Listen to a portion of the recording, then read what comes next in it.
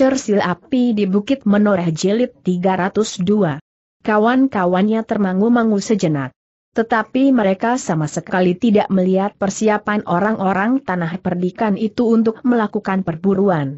Meskipun demikian anak-anak muda itu telah berusaha secepatnya memanjat tebing. Kemudian menuruni sisi yang lain dan keluar dari telatah tanah perdikan menoreh. Pada saat yang bersamaan, Ki Jayaraga telah berada di padepokan Kiai Warangka di dekat padukuhan Keronggahan. Ki Winong dan Ki Serut pun segera disimpan dalam bilik khusus. Kepada para cantriknya, Kiai Warangka berpesan, berhati-hatilah. Kedua orang itu berbahaya. Jangan sampai lepas. Awasi bilik tahanan untuk melarikan diri tetapi kemungkinan orang lain yang berusaha membebaskan mereka. Seorang putut dan seorang cantrik yang ikut pergi ke tanah perdikan itulah yang diserahi tanggung jawab terhadap kedua orang tawanan mereka itu. Siapakah mereka bertanya seorang putut yang lain? Putut yang pergi bersama Kiai Warangka itu menjawab. Mereka adalah para cantrik dari padepokan Kiai Timbang Laras. Kiai Timbang Laras putut yang bertanya itu menjadi haran. Ia mengenal Kiai Timbang Laras sebagai saudara seperguruan Kiai Warangka. Ya, nampaknya keberadaan mereka di padepokan ini dianggap penting, sehingga, Ki Jaya Raga harus mengantar perjalanan kami. Apakah keduanya berilmu sangat tinggi? Tidak. Keduanya tidak berilmu tinggi. Tetapi kemungkinan lain dapat terjadi. Justru usaha untuk membebaskan kedua orang itu dari saudara-saudara seperguruan mereka. Putut itu pun kemudian menceritakan kepada kawannya, apa yang telah dilakukan oleh kedua orang itu, sehingga Kiai Warangka merasa perlu untuk membawa keduanya ke padepokan itu. Dalam pada itu, maka Ki Jayaraga masih berbincang dengan Kiai Warangka tentang banyak kemungkinan yang dilakukan oleh Kiai Timbang Laras. Setelah beristirahat sejenak, maka keduanya telah pergi ke bilik tempat kedua orang murid Kiai Timbang Laras itu disimpan. Dalam pada itu, para cantrik dari padepokan Kiai Warangka itu telah berjaga-jaga dengan sebaik-baiknya. Jika Kiai Timbang Laras datang untuk mengambil kedua muridnya, padepokan Kiai Warangka itu sudah siap untuk menghadapi mereka. Apakah Kiai Timbang Laras mengetahui bahwa dua orang muridnya ada di sini desis seorang cantrik? Entahlah. Tetapi Kiai Timbang Laras itu mempunyai seribu mata dan seribu telinga. Bahkan seakan-akan dedaunan di pepohonan itu adalah telinganya pula, sementara di dinding-dinding padukuhan itu melekat matanya yang tidak pernah berkedip, jawab kawannya. Dalam pada itu, Kiai Warangka dan Ki Jayaraga telah berada di dalam bilik kedua orang murid dari padepokan Kiai Timbang Laras itu. Dengan nada berat Kiai Warangka itu bertanya apakah kalian ingin berbicara dengan Kiai Warangka? Kedua orang itu termangu-mangu sejenak. Sementara Kiai Warangka yang diperkenalkan sebagai Ki Bekel itu berkata selanjutnya menurut para cantrik, Kiai Warangka sedang pergi ke keronggahan. Tetapi ia akan segera kembali. Kedua orang itu termangu-mangu sejenak. Mereka memandang Kiai Warangka dan Ki Jayaraga berganti-ganti mereka memang mencurigai bahwa yang diperkenalkan kepada mereka sebagai Ki Bekel itu tentu bukan seorang bekel. Bahkan mereka pun curiga bahwa orang itu adalah Kiai Warangka. Karena kedua orang itu sama sekali tidak menyahut, maka Kiai Warangka itu pun telah bertanya pula, nah, sebelum Kiai Warangka datang, apakah ada sesuatu yang ingin kalian katakan? Kami tidak akan terlalu lama berada di sini kami akan segera kembali ke tanah perdikan. Keduanya masih tetap berdiam diri. Ki Winong dan Ki Serut, berkata Ki Jayaraga kemudian, tugas apakah yang sebenarnya kalian ban dari Ki Timbang Laras sehingga kalian telah mengawasi padepokan ini dan kemudian mengikuti aku dan tentu kalian akan mengambil tindakan-tindakan lebih jauh. Kedua orang itu masih tetap berdiam diri. Kisanak, berkata Kiai Jaya Raga, kalian sekarang sudah tidak berada di tanah perdikan menoreh. Tidak ada lagi yang akan mencegah jika kami ingin berbuat sesuatu atas kalian. Kami tidak akan dapat melakukannya di bawah penglihatan para pengawal. Tanah perdikan menoreh agar mereka tidak terlibat dalam persoalan ini. Karena itu, maka kalian harus berada di luar tanah perdikan, sehingga segala tanggung jawab akan aku pikul sendiri. Bahkan Ki Bekel yang daerahnya kau sentuh itu pun harus ikut keluar dari tanah perdikan jika ia mempunyai kepentingan lebih banyak dengan kalian. Jantung kedua orang itu terasa berdegup semakin cepat. Sebenarnya lah keduanya menjadi ragu. Siapa sebenarnya yang mereka hadapi dan apa sebenarnya yang mereka kehendaki? Tiba-tiba saja Ki Jaya Raga itu membentak, apa tugas yang dibebankan oleh Kiai Timbang Laras kepada kalian? Kedua orang itu terkejut mereka bergeser setapak ketika mereka melihat Ki Jaya Raga itu berdiri sambil bertolak pinggang. Bahkan Kiai Warangka pun terkejut pula sehingga dadanya bergetar. Jawab pertanyaanku, atau kalian akan mengalami nasib yang lebih buruk. Aku akan menantang kalian berperang tanding. Kalian berdua, aku seorang diri. Tetapi, tetapi, salah seorang dari mereka menjadi gagap. Sedangkan yang lain menjadi pucat. Cepat jawab pertanyaanku. Apa tugas yang dibeankan kepada kalian? Anak-anak muda yang tertahan di tanah perdikan itu sudah mengaku tugas apa yang mereka bawa, meskipun aku harus memaksa mereka. Ketika Ki Jaya Raga melangkah maju, maka orang yang wajahnya pucat itu berkata, Ampun Kiai. Wajah Ki Jaya Raga menjadi semakin nampak garang. Sementara Kiai Warangka justru berdiri termangu-mangu. Ki Jaya Raga yang kemudian berdiri selangkah di hadapan kedua orang itu mulai menyentuh salah seorang dari mereka sampai menepuk pundaknya Ki Jaya Raga berkata, apakah kalian tidak mau berbicara? Kalian kira, kalian akan dapat menyelamatkan diri kalian dengan menunggu kedatangan Kiai Warangka? Kedua orang itu benar-benar menjadi ketakutan. Ketika Ki Jaya Raga menekan pundak yang disentuhnya itu, maka terasa kekuatan yang besar telah menindihnya. Ampun Kiai, berkata orang itu. Katakan, apa tugas kalian? kedua orang itu tidak mempunyai pilihan lain. Mereka melihat justru Ki Jaya Raga yang memandangi mereka dengan sorot metu yang menyala. Kalian menunggu setelah kalian dipaksa berbicara bertanya Ki Jaya Raga, baiklah. Jika demikian, kalian akan kami serahkan kepada para cantrik. Karena Kiai Warangka sendiri tidak ada, maka biarlah beberapa orang cantrik tertua di padepokan ini berbicara dengan kalian. Tidak. Jangan, hampir berbareng kedua orang itu memohon. Kenapa bertanya Ki Jaya Raga, bukankah itu yang menjadi pilihan kalian? Jangan serahkan kami ke tangan para cantrik. Jika demikian, kenapa kalian tidak mau berbicara kedua orang itu saling berpandangan sejenak? Mereka benar-benar hanya mempunyai satu pilihan berbicara tentang tugas yang sedang mereka lakukan. Sementara itu, Ki Jaya Raga pun berkata, Ki Bekel. Jika mereka tetap berdiam diri, kita serahkan saja kepada para cantrik karena kita harus segera kembali ke tanah perdikan. Terserah kepada Ki Jaya Raga, jawab Kiai Warangka. Baiklah, Ki Jaya Raga mengangguk-angguk, aku akan berbicara dengan para cantrik. Tetapi ketika Ki Jaya Raga beringsut, Ki Winong Puh berdesis. Tunggu, Kiai. Kau jangan mempermainkan aku, sahut Ki Jaya Raga aku harus segera kembali ke tanah perdikan. Kau kira Ki Bekel tidak mempunyai kerja lain daripada menunggui kalian di sini? Tanda pisah N. Kiai, berkata Ki Winong, jangan serahkan kami kepada para cantrik. Cukup, Ki Jaya Raga justru membentak, aku muak mendengarnya. Kau mencoba mengulur waktu sampai Kiai Warangka datang. Tidak, Kiai. Aku akan berbicara didengar atau tidak didengar oleh Kiai Warangka, berkata Ki Winong.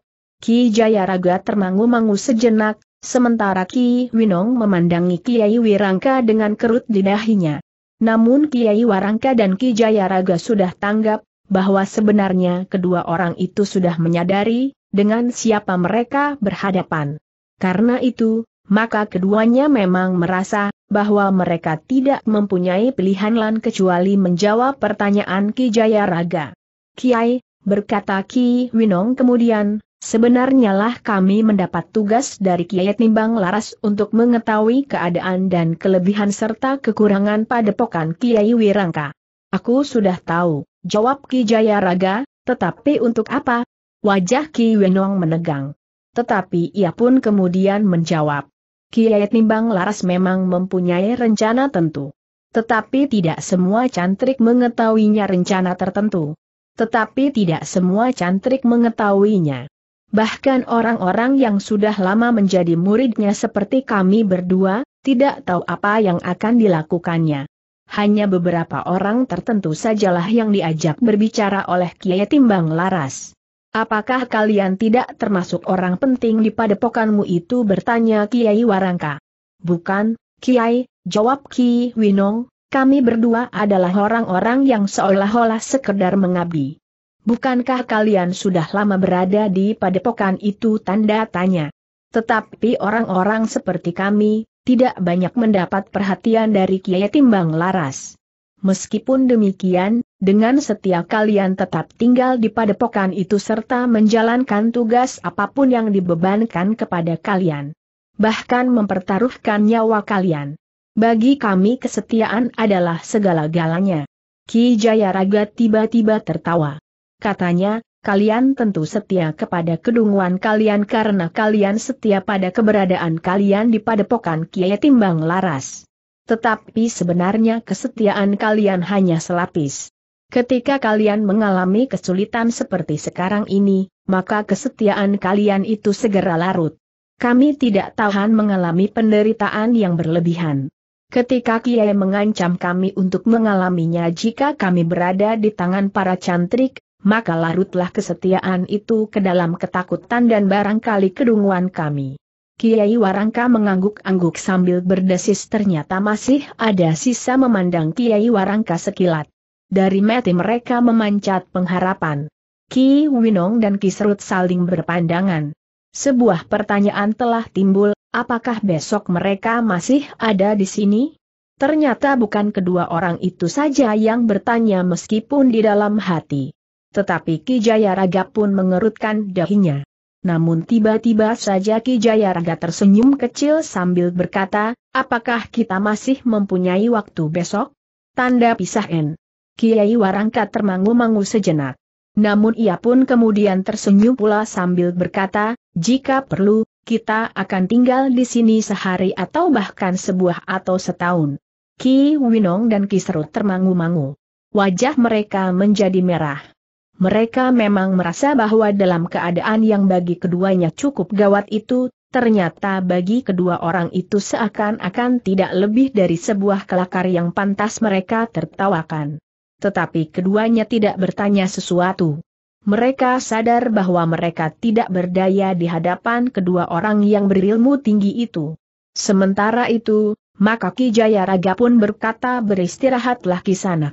Mungkin kalian harus menjawab pertanyaan-pertanyaan lain esok. Jika bukan aku dan Ki Bekel, Kiai, Warangkalah yang akan datang kepada kalian. Kedua orang itu tidak menjawab. Yang nampak pada mereka adalah gejolak perasaan mereka yang tidak menentu. Sebenarnya lah bahwa Ki Winong dan Ki Serut itu seakan-akan dihadapkan pada bayangan-bayangan keraguan yang berubah-ubah. Kadang, kadang bayangan itu nampak menjadi semakin jelas. Namun tiba-tiba menjadi kabur dan tidak dapat dikenalinya kembali. Dalam kebingungan itu, maka pintu bilik mereka telah ditutup. Orang yang mengaku sebagai Ki Bekel dan Ki Jayaraga telah meninggalkan mereka. Aku hampir menjadi gila, desis Ki Winong. Mereka memang membuat kami gila, jawab Ki Serut aku tidak akan petiuli lagi apa yang akan terjadi. Aku tidak mau menjadi gila karena tingkah laku kedua orang itu. Tetapi mereka berilmu tinggi. Terutama yang sudah kita kenali langsung adalah Ki Jaya Raga. Orang-orang berilmu tinggi kadang-kadang tidak lagi berbuat wajar. Kedua orang itu pun kemudian justru telah pasrah apa pun yang akan terjadi atas diri mereka. Mereka tidak mau berpikir lagi apakah yang akan terjadi atas diri mereka biarlah kami tinggal menjalani, desis Ki Winong. Ya, Kami tidak mau tersiksa sebelum kami benar-benar akan mengalami secara wadak, sahut Kiserut. Namun dengan demikian, maka kedua orang itu justru segera dapat tidur nyenyak.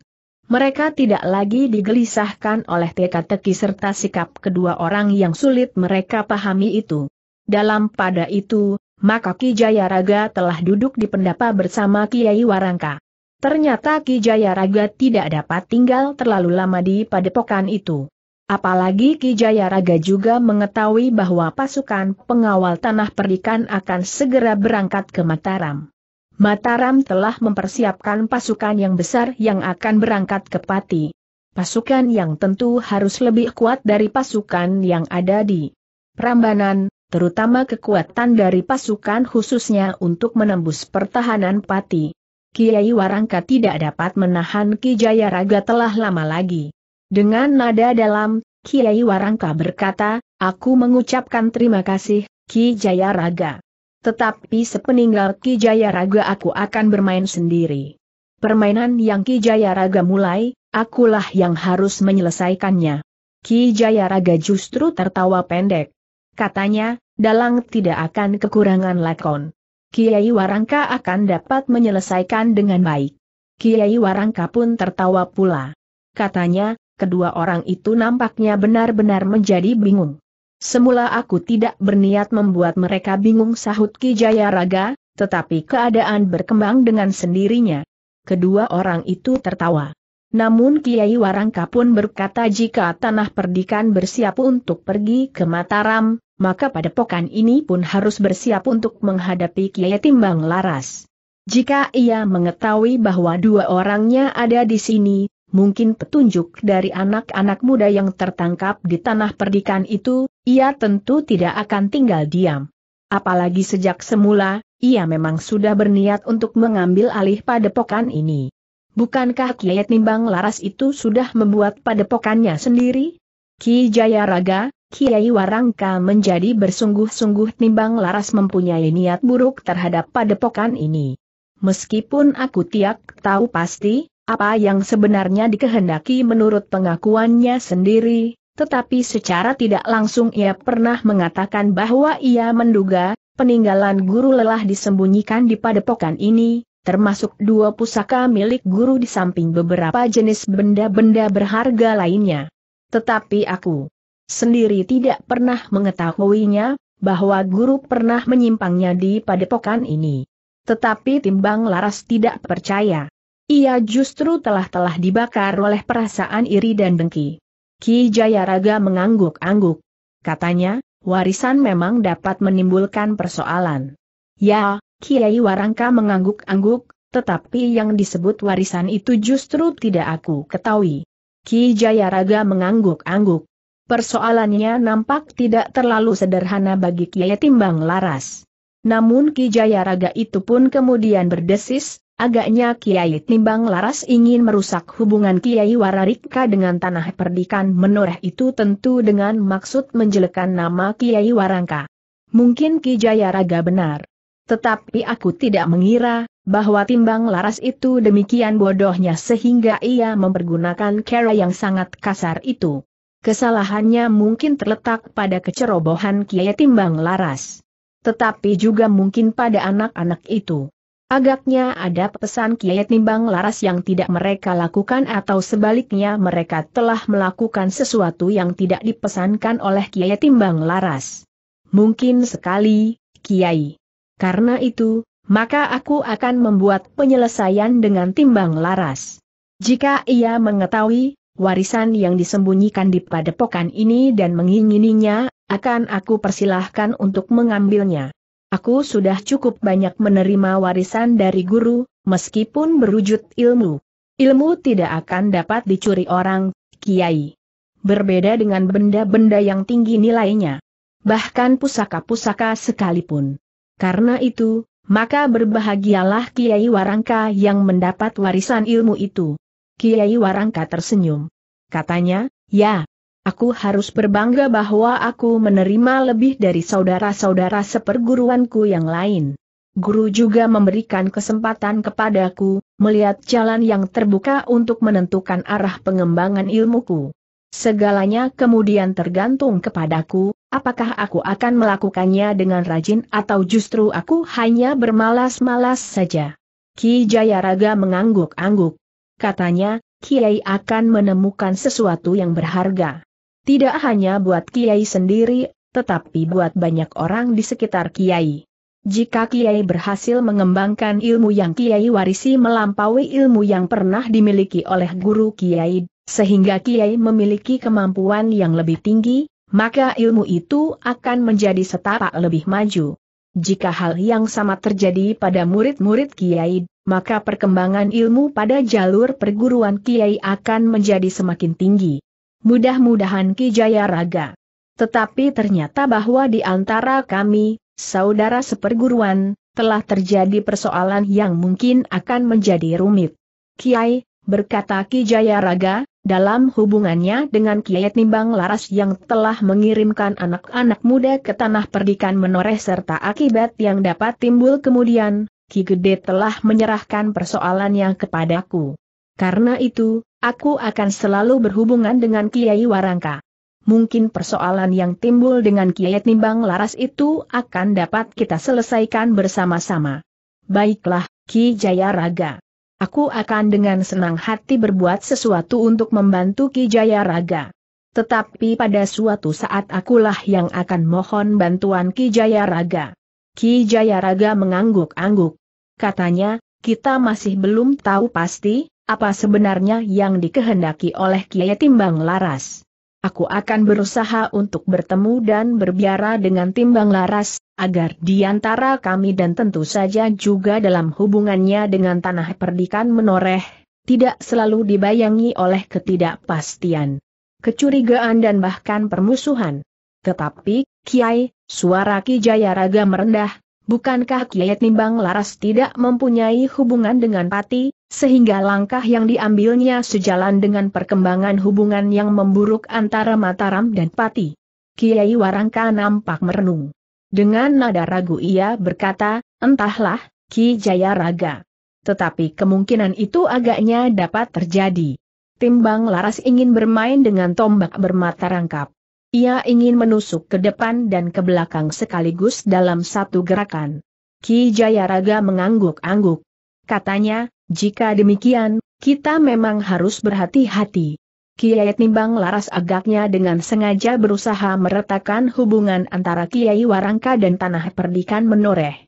Untunglah carry yang dipergunakan oleh Timbang Laras adalah carry yang kasar yang mudah dapat dilihat meskipun mungkin itu kesalahan anak-anak muda yang menjalankan perintahnya. Tetapi bahwa ia memberikan perintah kepada anak-anak muda justru pada masa pendadaran untuk tugas penting itu, sudah merupakan kesalahan yang dapat merusak seluruh rencananya. Ki Jayaraga mengangguk-angguk. Namun dalam pembicaraan seterusnya, keduanya mendapatkan banyak persamaan pendapat menanggapi sikap Kiai Timbang Laras itu. Demikianlah, maka Ki Jayaraga telah minta diri untuk kembali ke tanah perdikan. Aku akan melaporkannya kepada Ki Gede, berkata Ki Jaya Raga, sementara para pengawal bersiap untuk berangkat ke Mataram. Beberapa saat kemudian, maka Ki Jaya Raga pun telah meninggalkan padepokan Kiai Warangka. Namun Ki Jaya Raga itu sadar, bahwa untuk selanjutnya, Ki Jaya Raga itu akan lebih sering berhubungan dengan Kiai Warangka. Sementara itu, para pengawal tanah perdikan menoreh sudah bersiap sepenuhnya untuk segera berangkat ke Mataram setiap saat. Pada malam terakhir menjelang keberangkatan ke Mataram itu, para pengawal yang sudah bersiap untuk berangkat di keesokan harinya masih sempat berada di antara keluarganya. Tetapi sebelum tengah malam mereka harus sudah berada di Banjar Padukuhan masing-masing. Besok pagi-pagi mereka akan berangkat ke Mataram. Tetapi sebelumnya mereka harus berkumpul lebih dahulu di Banjar Padukuhan Induk. Pasukan pengawal tanah perdikan itu tidak terlalu banyak berbeda dengan pasukan yang telah pergi ke Mataram. Beberapa orang baru, nampak di antara mereka untuk mengisi kekosongan dalam kelompok-kelompok yang sudah tersusun sejak perang yang terdahulu, tetapi tidak dapat ikut bersama pasukan yang baru itu. Ada di antara mereka yang telah gugur ada pula yang karena sakit atau sebab-sebab yang lain. Di tengah malam semua orang harus sudah mulai beristirahat. Mereka harus sudah berbaring di tempat yang disediakan. Ada di antara mereka yang langsung dapat tidur nyenyak. Tetapi ada yang menjadi gelisah. Ada pula yang rasa-rasanya tidak sabar lagi menunggu pagi. Tetapi ada pula di antara mereka yang bertanya-tanya, untuk apa mereka itu pergi ke medan perang. Meskipun ada di antara itu pergi pengawal itu yang sulit untuk dapat tidur, namun dengan berbaring mereka sudah beristirahat, sehingga di keesokan harinya, jika mereka menempuh perjalanan ke Mataram, mereka tidak akan kelelahan dan apalagi kantuk di perjalanan. Pagi-pagi benar para pengawal yang ada di Banjar-Banjar Padukuhan itu telah bersiap-siap. Asap di dapur pun telah mengepul. Pada saat matahari terbit, maka mereka akan berangkat ke Banjar Padukuhan Induk Tanah Perdikan Menoreh, untuk selanjutnya akan berangkat menuju ke Mataram. Karena itu, akan sebelum mereka meninggalkan Banjar Padukuhan, makan dan minum pun telah dipersiapkan secukupnya. Ketika para pengawal itu berangkat dari Padukuhan, maka para penghuni Padukuhan itu pun masih juga memberikan penghormatan yang terakhir apalagi mereka yang memiliki sanak keluarga ikut dalam pasukan yang sedang berangkat itu. Di sebuah padukuhan seorang anak laki-laki yang sedang tumbuh menangis menjerit-jerit. Biasanya ia selalu didukung oleh ayahnya jika ayahnya pergi berjalan-jalan di pagi hari. Tetapi hari itu ayahnya tidak mendukungnya. Ayahnya pergi dengan banyak laki-laki, justru sambil menimbang tombak pendek. Ayah, ayah, teriak anak itu. Suaranya masih belum mapan berbaur dengan tangis dan isaknya. Ayahnya mendengar dan kemudian melihat anaknya meronta-ronta di dalam dukungan ibunya sebagaimana hatinya yang meronta di dalam dadanya. Tetapi kesadarannya untuk mengabdi telah mendorongnya untuk berketetapan hati berangkat ke Mataram. Beberapa saat kemudian, maka para pengawal tanah perdikan itu sudah berkumpul di Banjar Padukuhan Induk mereka telah bersiap sepenuhnya untuk berangkat ke Mataram dan seterusnya menuju ke Pati. Ki Gede yang berada di Banjar telah memberikan beberapa pesan kepada mereka. Hanya pendek, tetapi langsung menyentuh jantung mereka. Selain Ki Gede, maka Ki Jayaraga dan Ki Arga Jaya pun telah ikut melepas para pengawal yang berangkat ke Mataram itu. Ketika matahari naik sepenggalah, maka para pengawal tanah perdikan itu pun telah dilepas untuk berangkat ke Mataram. Seperti di padukuhan-padukuhan yang lain, maka mereka yang tinggal di padukuhan induk itu pun telah melepas para pengawal itu. Mereka berdiri di sepanjang jalan dari Banjar sampai ke Regol Padukuhan. Bahkan beberapa orang berdiri di luar Regol Padukuhan. Mereka melambai-lambaikan tangan mereka. Namun ada di antara mereka yang mengusap air matanya yang mulai menitik. Sejenak kemudian, maka para pengawal tanah perdikan itu sudah berjalan menyusuri jalan bulak. Mereka berbaris dengan tertib. Meskipun mereka masih belum membuka pertanda kebesaran dari tanah perdikan menoreh. Mereka belum membuka umbul-umbul, rontek dan kelebet, Meskipun beberapa orang yang berdiri di paling depan membawa beberapa tunggul yang berdiri tegak. Prastawa yang menjadi senapati dari pasukan pengawal tanah perdikan menoreh itu berjalan di sebelah mereka yang membawa tunggul. Sementara gelagah putih yang membantunya justru berjalan di sebelah mereka yang berada di ujung ekor barisan. Orang-orang yang melihat pasukan yang berjalan dalam sebuah barisan itu berlari-larian ke tepi jalan. Tetapi pada umumnya orang-orang tanah perdikan menoreh sudah mengetahui bahwa sepasukan pengawal akan berangkat ke Mataram. Ketika pasukan itu sampai ke tepian, maka mereka memerlukan waktu yang agak panjang untuk menyeberang. Beberapa buah rakit yang ada telah dipergunakan seluruhnya. Itu pun harus silir mudik beberapa kali sehingga orang yang terakhir Prastawa ikut pada rakit yang pertama, sedangkan gelagah putih ikut pada rakit yang terakhir. Beberapa orang telah terpaksa tertahan di tepian. Mereka harus menunggu sampai seluruh pengawai tanah perdikan itu menyeberang. Meskipun ada yang merasa mendapat kesempatan melihat sepasukan pengawal yang menyeberangi Kali Praga, namun ada juga yang mengumpat-umpat karena perjalanannya tertahan beberapa lama.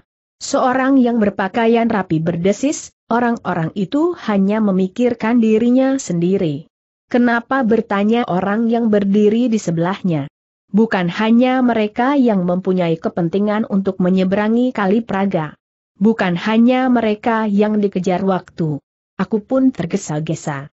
Kau ingin mendapat kesempatan menyeberang lebih dahulu karena kau tergesa-gesa? Tentu, jawab orang berpakaian rapi itu. Apakah itu bukan semacam mementingkan diri sendiri bertanya orang yang berdiri di sebelahnya. Orang itu membelalakan matanya. Tetapi orang yang berdiri di sebelahnya memandanginya sambil tersenyum. Orang berpakaian rapi itu pun melangkah menjauhinya sambil bergeramang panjang. Beberapa saat kemudian, maka rakit yang terakhir pun telah merapat di tepian. Para pengawal terakhir bersama gelagah putih telah berloncatan turun. Sementara rakit yang lebih dahulu merapat telah mulai memuat orang-orang yang tertahan. Pasukan pengawal dari tanah perdikan menoreh desis seseorang setelah ia berdiri di atas rakit yang mulai bergerak menyeberang. Mereka akan ke Mataram bertanya orang yang berdiri berhadapan. Ya, nampaknya demikian.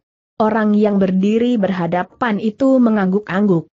Ia menyadari, bahwa kepergian pasukan pengawal tanah perdikan itu ke Mataram berarti bahwa perang masih akan berkelanjutan.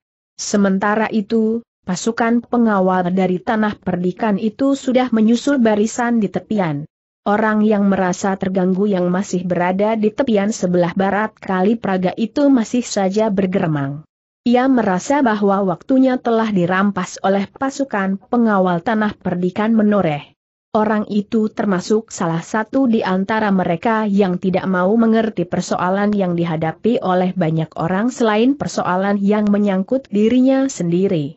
Sejenak kemudian, maka barisan pengawal dari tanah perdikan menoreh itu telah mulai bergerak lagi. Mereka melanjutkan perjalanan mereka ke Mataram. Teriknya matahari rasa-rasanya membakar punggung, sehingga keringat mereka seakan-akan telah diperas dari tubuhnya. Perjalanan pasukan pengawal itu menjadi semakin lambat.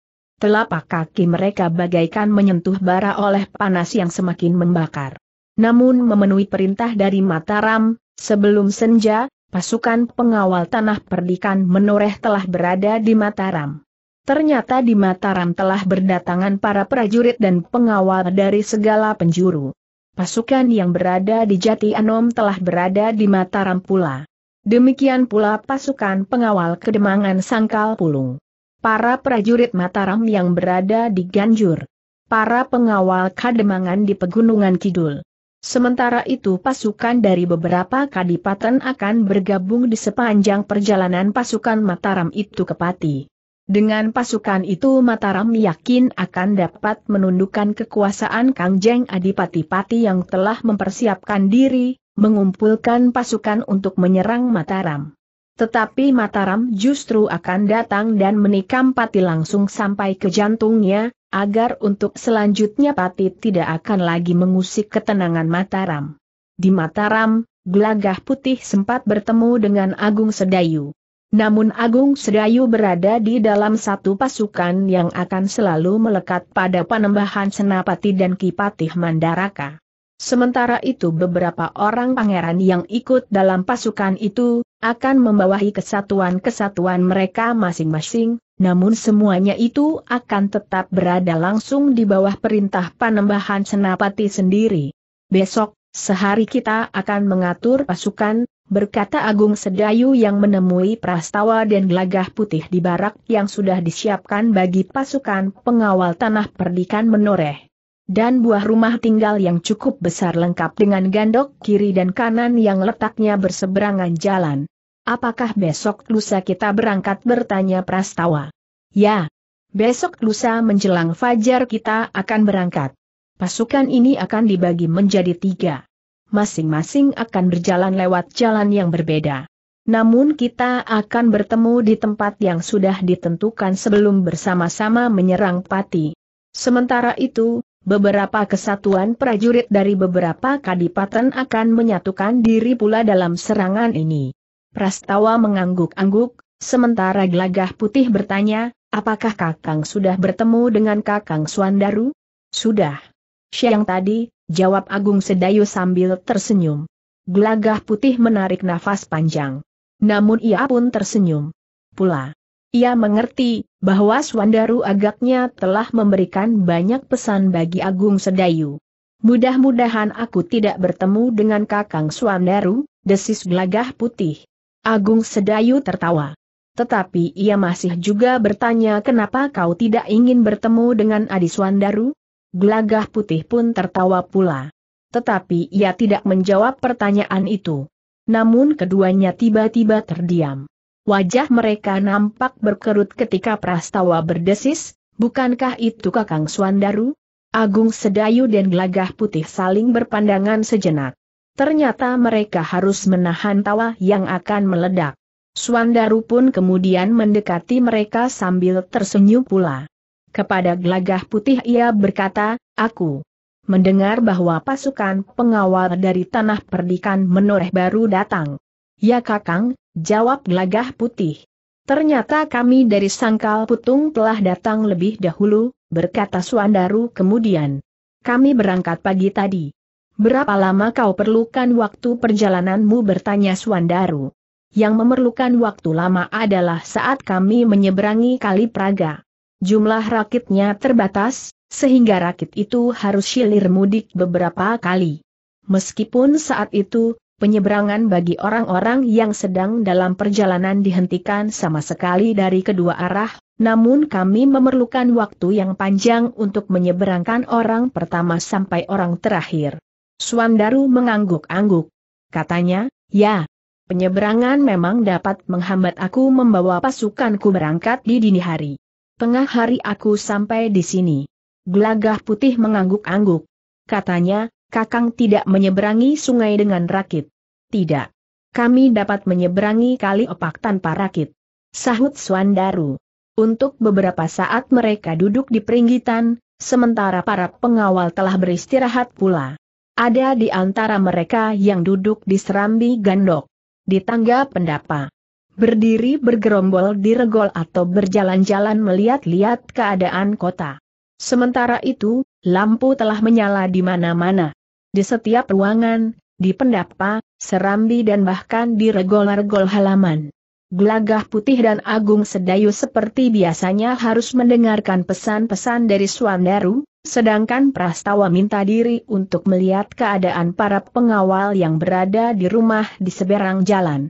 Mungkin kita berada di jalur perjalanan yang berbeda berkata Swandaru.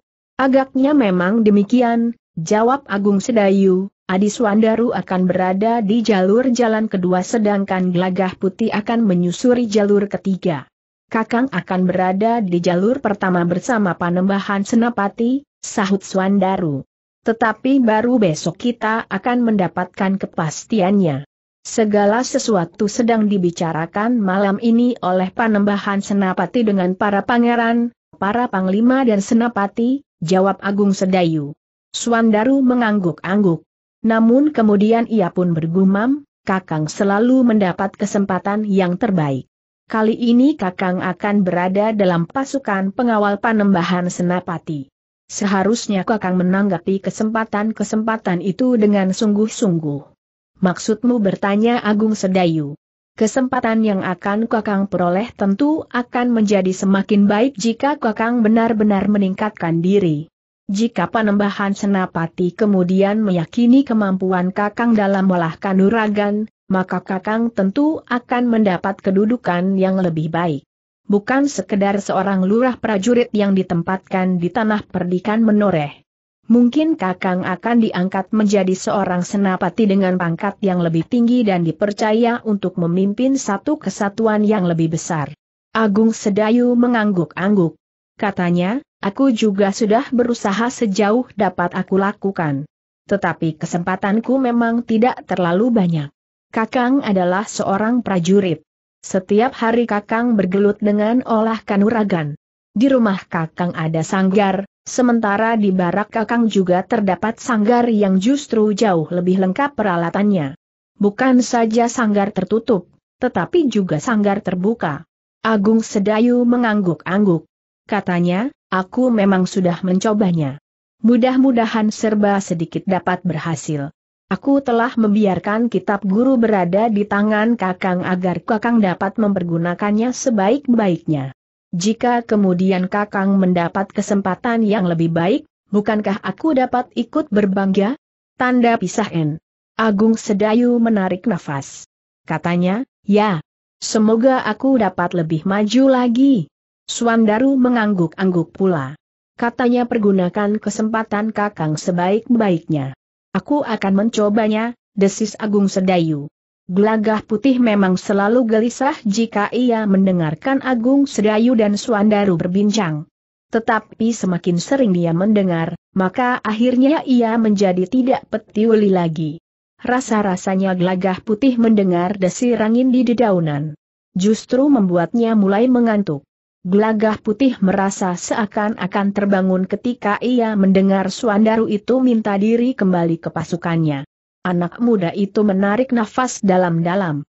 Ia merasa dadanya menjadi lapang ketika ia mendengar Suandaru berkata kepadanya, beristirahatlah, gelagah putih. Kita semuanya akan mendapat tugas yang tentu akan terasa sangat berat. Baik Kakang, jawab gelagah putih, malam nanti aku akan tidur nyenyak. Sepeninggal Suandaru, Agung Sedayu masih tinggal beberapa lama bersama Gelagah Putih. Namun kemudian Agung Sedayu pun minta diri pula.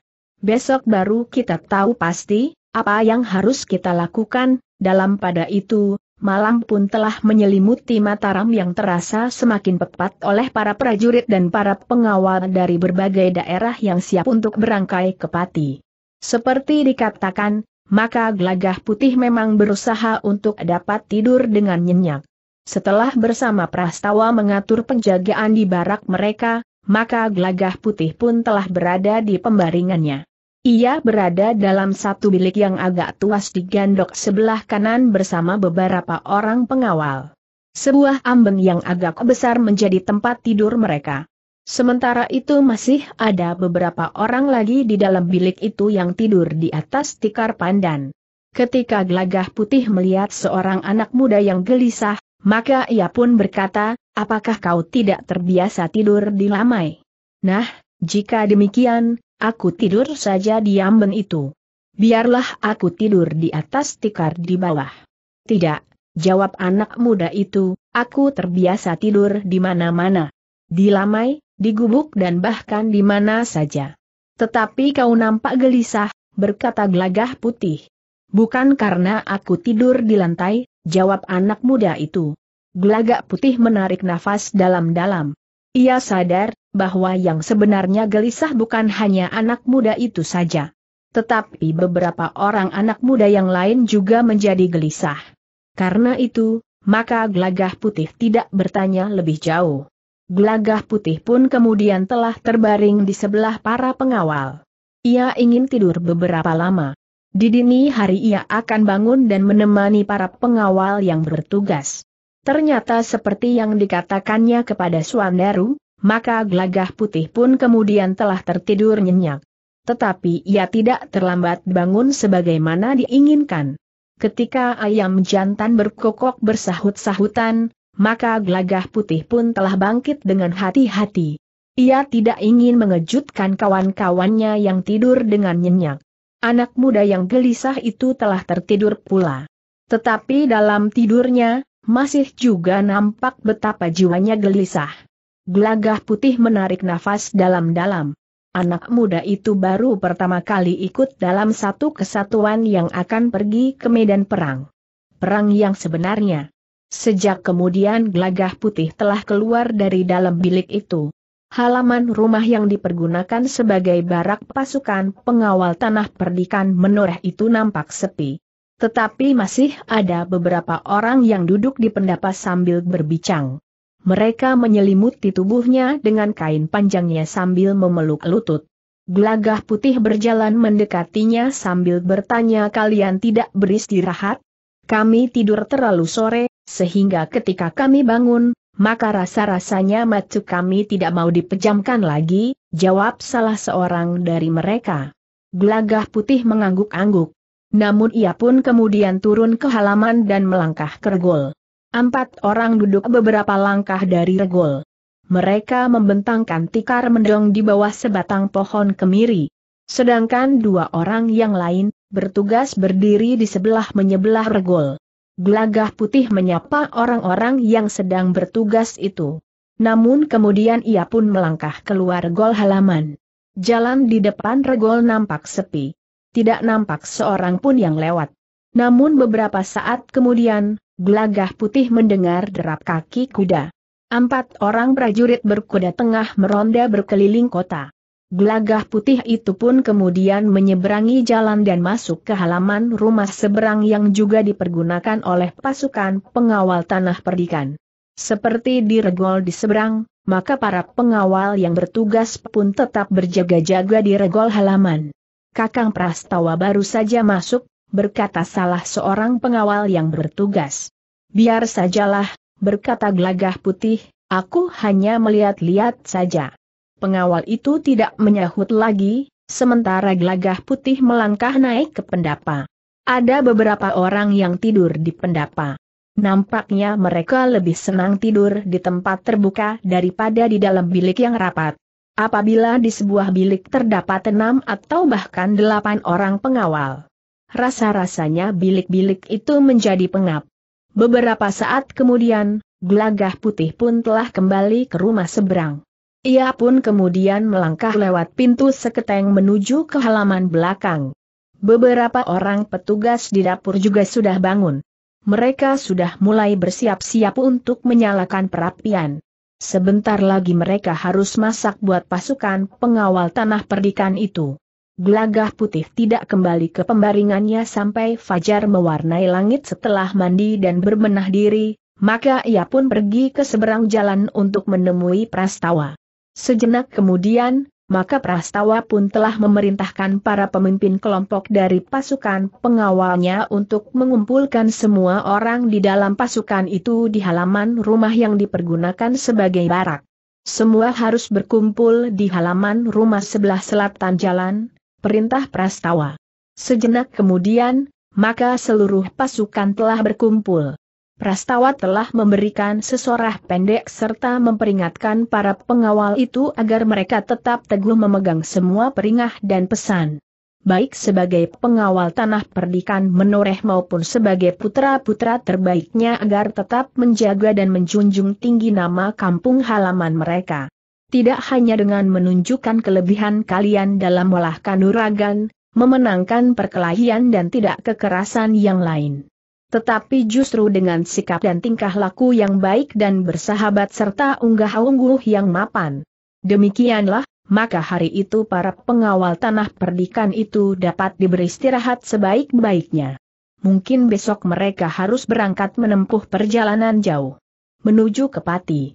Tetapi Prastawa juga memperingatkan, meskipun mereka dapat beristirahat, tetapi mereka harus tetap mempersiapkan diri sebaik-baiknya, termasuk mempersiapkan senjata-senjata dan perlengkapan mereka.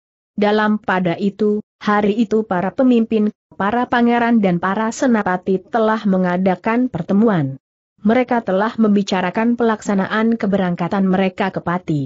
Ketika para pemimpin itu telah mencari kesempatan, maka setiap panglima yang akan memimpin satu pasukan yang berangkat ke Pati, akan mengumpulkan para pemimpin pasukan pengawal yang akan berada di dalam pasukannya. Seperti yang pernah dikatakan oleh Untara, maka pasukan Mataram akan dibagi menjadi tiga. Di tengah akan dipimpin langsung oleh Panembahan Senapati. Kemudian yang satu akan menuju ke Pati melalui jalan sebelah timur dan yang lain akan menempuh perjalanan lewat sisi sebelah barat mereka akan berhenti di tempat-tempat yang telah ditentukan untuk menunggu saatnya mereka akan menyerang. Sedangkan pasukan dari para bupati dan adipati akan bergabung dengan mereka sesuai dengan garis kebijaksanaan yang sudah ditentukan. Karena itu, maka beberapa orang penghubung berkuda pada hari itu juga berangkat mendahului pasukan untuk menyampaikan perintah panembahan senapati kepada para bupati dan adipati yang telah menyatukan diri dengan Mataram.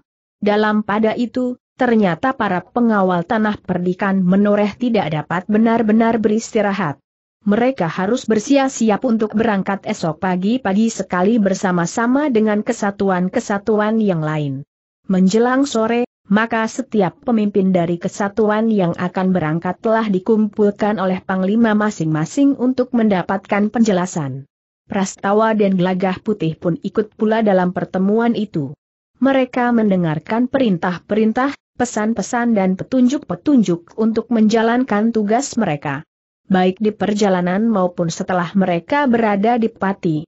Pada gilirannya, Prastawa dan Gelagah Putih telah memanggil para pemimpin kelompok dari para pengawal tanah perdikan menoreh untuk memberikan penjelasan, apa yang harus mereka lakukan. Dalam pada itu, di tanah perdikan menoreh, Kijaya Raga telah menerima utusan Kiai Warangka yang memberitahukan bahwa hubungannya dengan saudara seperguruannya menjadi semakin buruk. Apakah Kiai Warangka telah menemui Kiai Timbang Laras? Tanda tanya bertanya Ki Jayaraga kepada utusan itu. Belum Kiai, jawab utusan itu. Jadi, kenapa Kiai Warangka dapat mengatakan bahwa hubungannya dengan Kiai Timbang Laras menjadi semakin buruk? Dua orang cantrik Kiai Timbang Laras telah datang menemui guru. Ki Jayaraga mengangguk-angguk. Tetapi ia masih bertanya. Apa yang dikatakan oleh kedua orang utusan itu? Tentang harta warisan, Jawab utusan itu, tetapi aku tidak begitu jelas, warisan, jawab utusan itu, tetapi aku tidak begitu jelas, warisan apakah yang dipersoalkan oleh Kiai Nimbang Laras itu. Baiklah. Aku akan datang menemui Kiai Warangka jawab Ki Jaya Raga. Namun ia pun masih juga bertanya bukankah kedua orang dari padepokan Kiai Nimbang Laras itu masih berada di sana? Masih, Kiai. Kedua orang itu juga menjadi persoalan antara Kiai Warangka dan Kiai Timbang Laras. Ki Jayaraga pun kemudian telah minta diri kepada Sekar Mirah dan Rara Wulan, bahwa ia akan mengunjungi Kiai Warangka.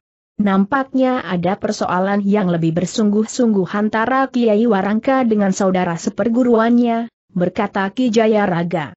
Tetapi bukankah Ki Jayaraga tidak terlalu lama berada di padepokan bertanya Rara Wulan?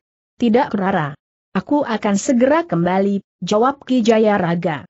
Kecuali jika ada perkembangan lain, desis Sekar Mirah. Ki Jaya Raga menarik nafas panjang.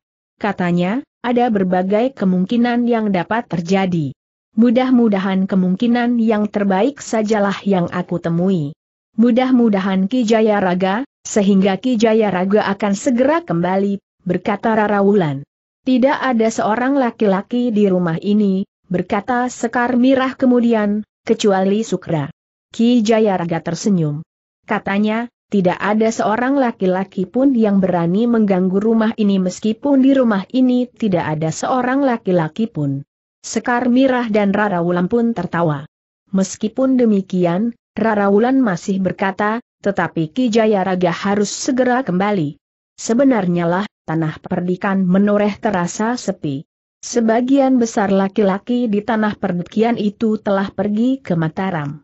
Meskipun demikian masih ada kelompok-kelompok pengawal yang bertugas untuk menjaga ketenteraman tanah perdikan.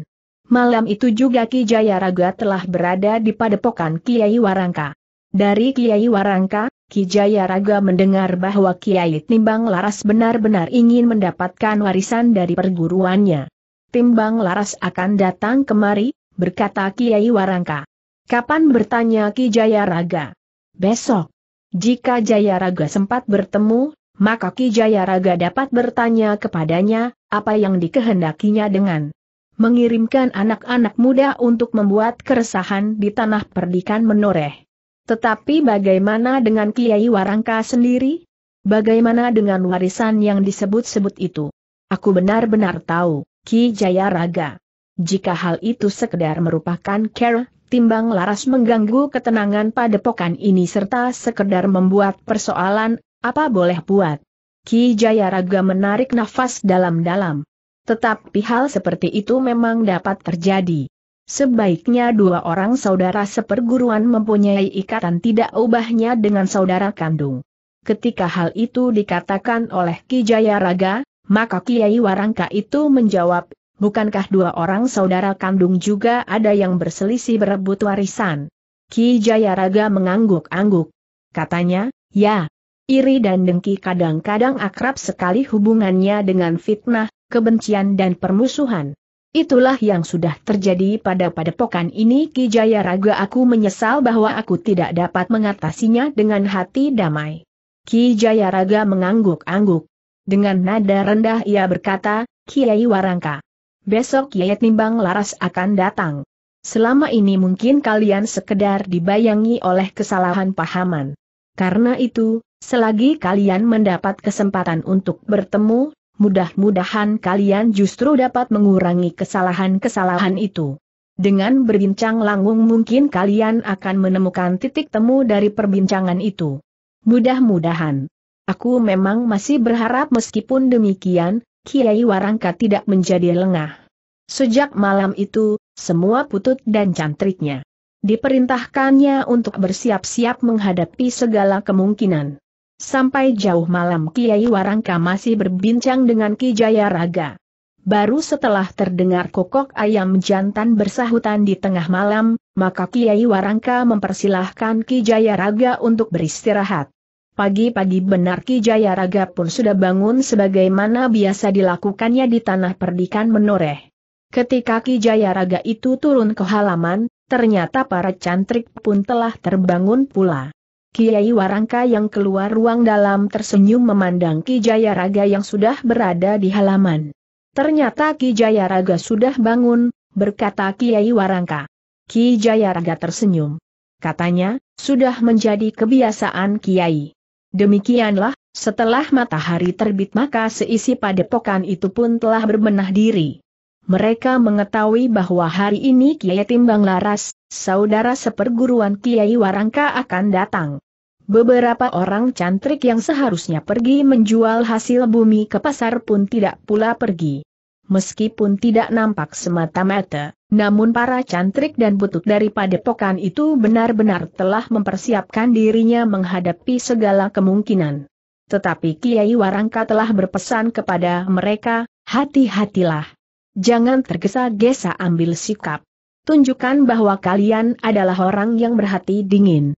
Meskipun demikian, bukan berarti bahwa mereka akan membiarkan perlakuan yang tidak adil atas diri mereka. Semakin tinggi matahari, maka seisi padepokan itu menjadi semakin tegang menunggu kedatangan Kiai Timbang Laras. Mereka tidak dapat membayangkan apa yang akan terjadi pembicaraan yang lembut antara dua saudara, atau sikap yang keras dan geram.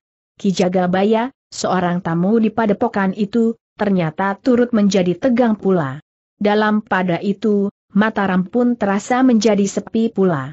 Para prajurit dan pengawal dari beberapa daerah yang bertimbun di Mataram, telah mulai bergerak. Mereka telah berada di perjalanan menuju ke Pati tiga pasukan segelar sepapan telah menempuh jalan yang berbeda menuju ke Pati. Meskipun demikian, ketiga pasukan itu selalu berhubungan. Beberapa orang penghubung berkuda pada saat-saat tertentu menyampaikan berita kepada pasukan induk yang berjalan di tengah, di antara kedua pasukan yang lain. Bagi ketiga pasukan itu telah ditentukan jalur jalan yang harus dilalui di kademangan atau padukuhan mana mereka harus berhenti dan menerima penghubung dari kedua pasukan yang lain. Ketika matahari memanjat semakin tinggi di hari pertama, maka pasukan itu merayap menyusuri jalan yang masing-masing. Jarak yang ditentukan di setiap harinya harus dicapai, sehingga setiap panglima harus benar-benar memperhitungkan di mana mereka dapat beristirahat dan seberapa lama mereka berhenti untuk makan di perjalanan. Setiap pasukan pun telah mengirimkan beberapa kelompok kecil untuk berjalan mendahului. Mereka memperhatikan keadaan yang ada di hadapan mereka, agar pasukan mereka dalam keseluruhan tidak terjebak dalam perangkap lawan. Sementara itu, matahari pun telah memanjat semakin tinggi. Keringat mulai mengalir di tubuh para prajurit dan pengawal yang menempuh perjalanan. Sementara itu, para cantrik di padepokan Kiai Warangka pun menjadi semakin tegang pula. Rasa-rasanya mereka tidak sabar menunggu lagi. Bahkan sampai matahari mencari puncak langit, Kiai Timbang Laras masih juga belum datang. Apakah Timbang Laras mulai mengajak bermain sembunyi-sembunyian berkata Kiai Warangka. Kiai Timbang Laras sengaja membuat Kiai Warangka dan para cantrik menjadi tegang.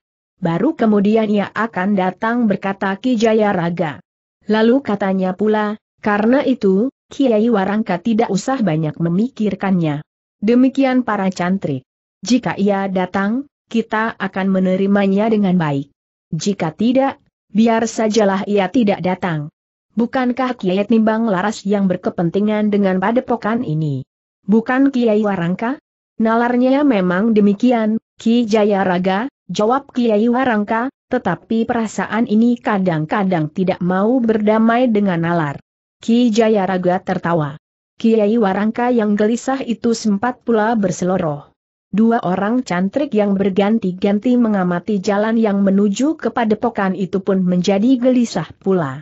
Namun kepada dua orang cantrik yang akan menggantikan tugas mereka, Kiai Warangka telah berpesan, kalian tidak usah menjadi tegang menunggu. Jika mereka kelihatan mendatangi padepokan ini, kalian memberikan isyarat dengan panah sendaren. Jika tidak, anggap saja kalian sedang beristirahat. Keduanya mengerutkan kening. Namun sambil tersenyum keduanya mengangguk-angguk. Namun sedikit lewat tengah hari, yang mereka tunggu-tunggu itu benar-benar datang. Sebuah iring-iringan kecil orang berkuda, nampak memasuki jalan yang menuju ke padepokan itu. Dua orang cantrik yang mengamati jalan menuju ke padepokan itu segera melontarkan panah sendaren ke arah padepokan. Akhirnya mereka datang, berkata Kiai Warangka. Justru pada saat kita tidak lagi menunggu dengan gelisah. Berkala Ki Jaya Raga sambil tersenyum. Keduanya pun kemudian telah menunggu di pendapa. Justru pada saat mereka menunggu, Ki Jaya Raga sempat berangan-angan. Bukan saja perguruan Kiai Warangka yang mengalami persoalan yang menyangkut saudara-saudara seperguruan yang sebaiknya tidak terjadi. Ki Jaya Raga yang tiba-tiba mengenang dirinya dan jalur perguruannya menjadi berdebar-debar. Perguruannya bukan perguruan yang baik. Perselisihan telah terjadi pula bahkan tidak ada seorang pun di antara murid-muridnya yang menempuh jalan yang baik. Untunglah bahwa Ki Jaya Raga telah menemukan seorang untuk mewarisi ilmunya. Seorang yang kepribadiannya telah terbentuk. Gelagah putih. Tetapi Ki Jaya Raga tidak sempat berangan-angan lebih lama. Beberapa saat kemudian, iring-iringan kecil orang berkuda itu telah sampai di regol halaman padepokan. Kiai Warangka, Ki Jaya Raga dan dua orang putut telah menyongsong mereka. Ki Jaya Raga yang belum pernah mengenal Kiai Timbang Laras langsung dapat mengetahui, yang manakah di antara mereka yang bergelar Kiai Timbang Laras.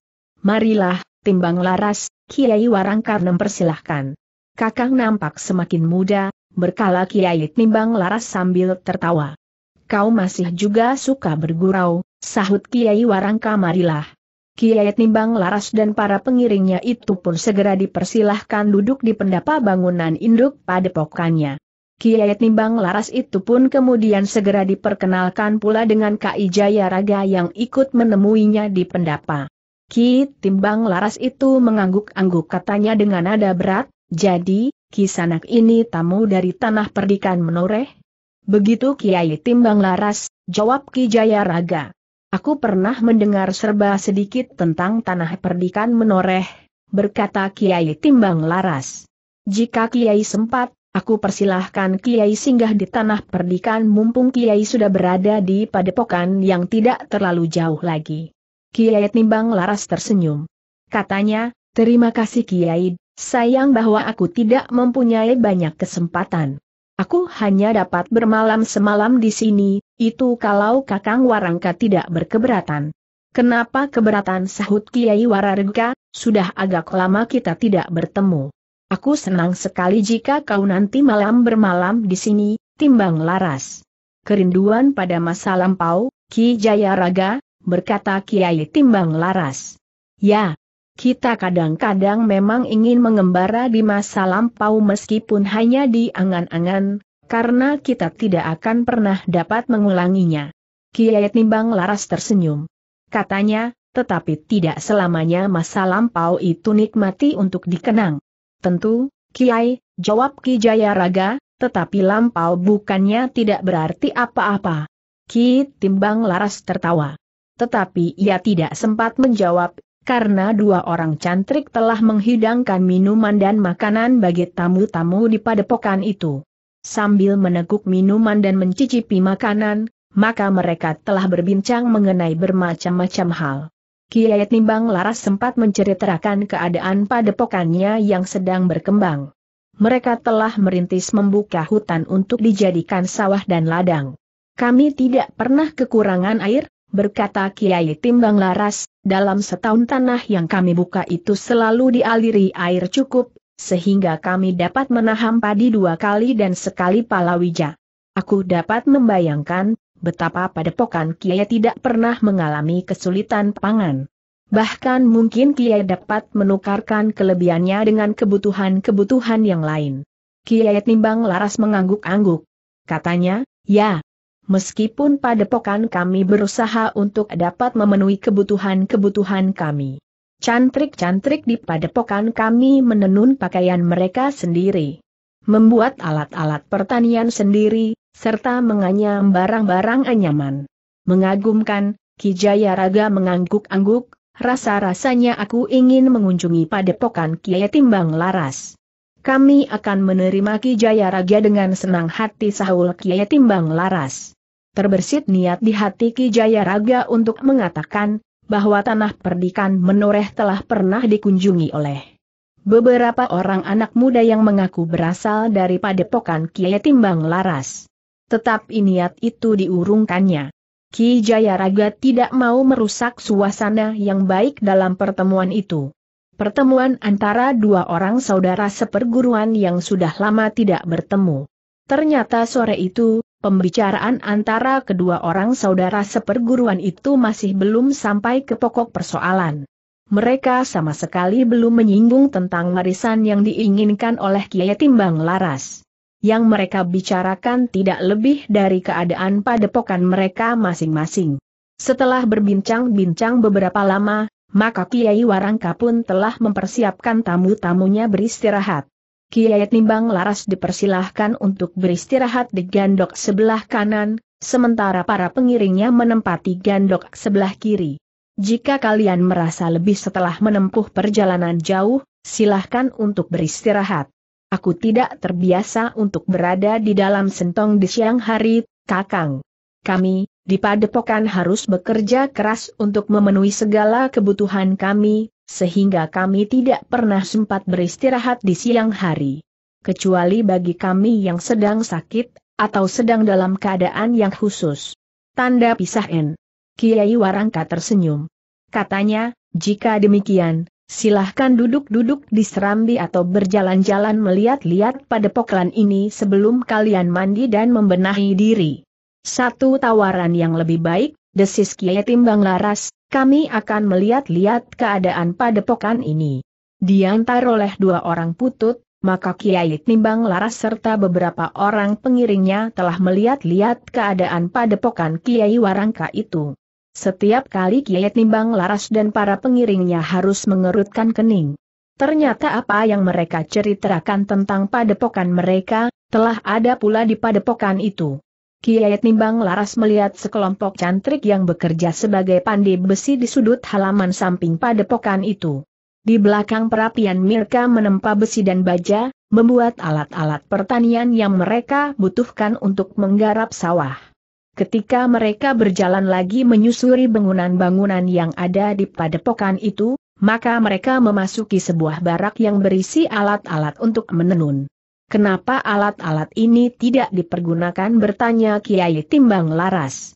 Salah seorang putut yang mengantarkannya itu pun menjawab, alat-alat ini tidak dipergunakan setiap hari, Kiai. Tetapi ada masanya alat-alat ini menjadi sangat sibuk. Kiai Timbang Laras mengangguk-angguk. tetapi ia tidak bertanya lebih jauh.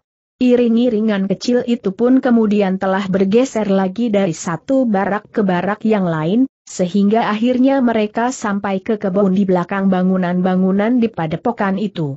Sebuah kebun yang terhitung tuas. Di tengah-tengah kebun itu terdapat tiga buah belumbang yang diisi dengan ikan air dari berbagai macam jenis. Kiai Timbang Laras dan pengiringnya telah melihat-lihat belumbang itu pula belumbang yang di dalamnya berenang berbagai macam ikan yang sudah menjadi besar. Beberapa ekor ikan emas yang berwarna kekuning-kuningan berenang. Bergerombol. Sekali-sekali timbul, kemudian menyusup ke kedalaman. Beberapa ekor gerameh nampak melintas dengan tenangnya. Apakah para cantrik juga menggarap sawah dan pategalan bertanya Kiai Timbang Laras. Ya, Kiai. Sawah di belakang padepokan ini adalah sawah kami. Ki Bekel Keronggahan memberikan wewenang kepada kami untuk membuka hutan di daerah ini. Bahkan Ki Bekel di Keronggahan juga telah memberikan tanah cadangan yang masih berupa hutan belukar di sebelah. Jika kita berdiri di luar dinding padepokan ini, maka kita dapat melihat hutan yang membujur ke utara. Tetapi tidak seluruhnya. Kiai. Ki Bekel telah memasang beberapa buah tugu batu hitam untuk memberikan batasan. Karena menurut Ki Bekel, sebagian dari hutan itu harus tetap dibiarkan sebagai hutan belukar. Kiai Timbang Laras mengangguk-angguk. Ternyata padepokan Kiai Warangka ini justru setapak berada di depan padepokannya. Segala sesuatunya nampak sudah mapan dan berjalan dengan sendirinya. Demikian pula ketika mereka memasuki sanggar-sanggar di padepokan itu. Ada dua buah sanggar tertutup dan sebuah sanggar terbuka. Satu di antara sanggar tertutup itu lebih kecil dari yang lain. Sedangkan sanggar terbuka yang ada di belakang cukup tuas untuk berlatih beberapa orang bersama-sama.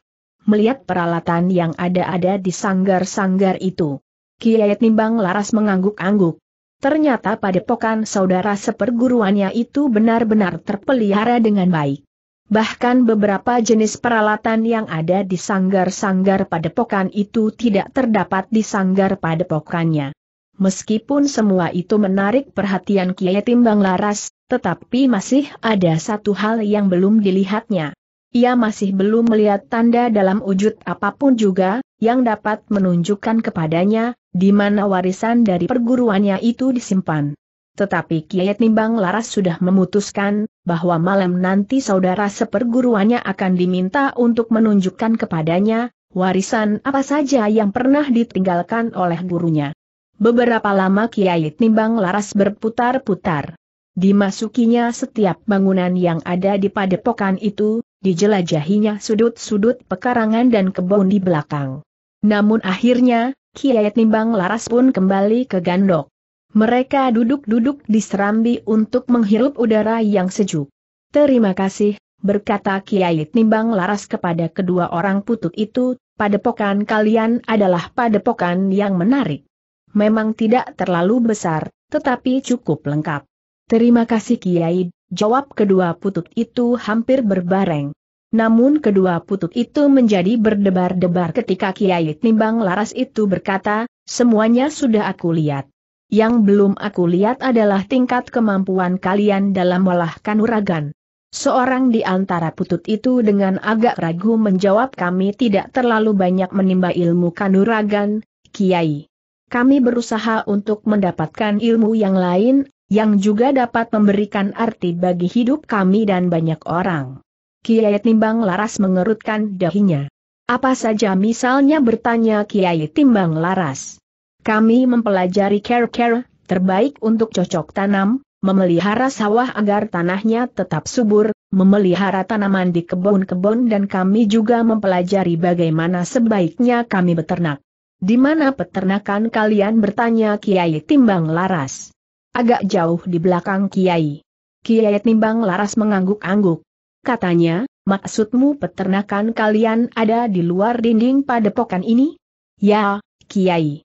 Kami satukan kandang-kandang peternakan itu dengan padang perdu sebagai tempat penggembalaan.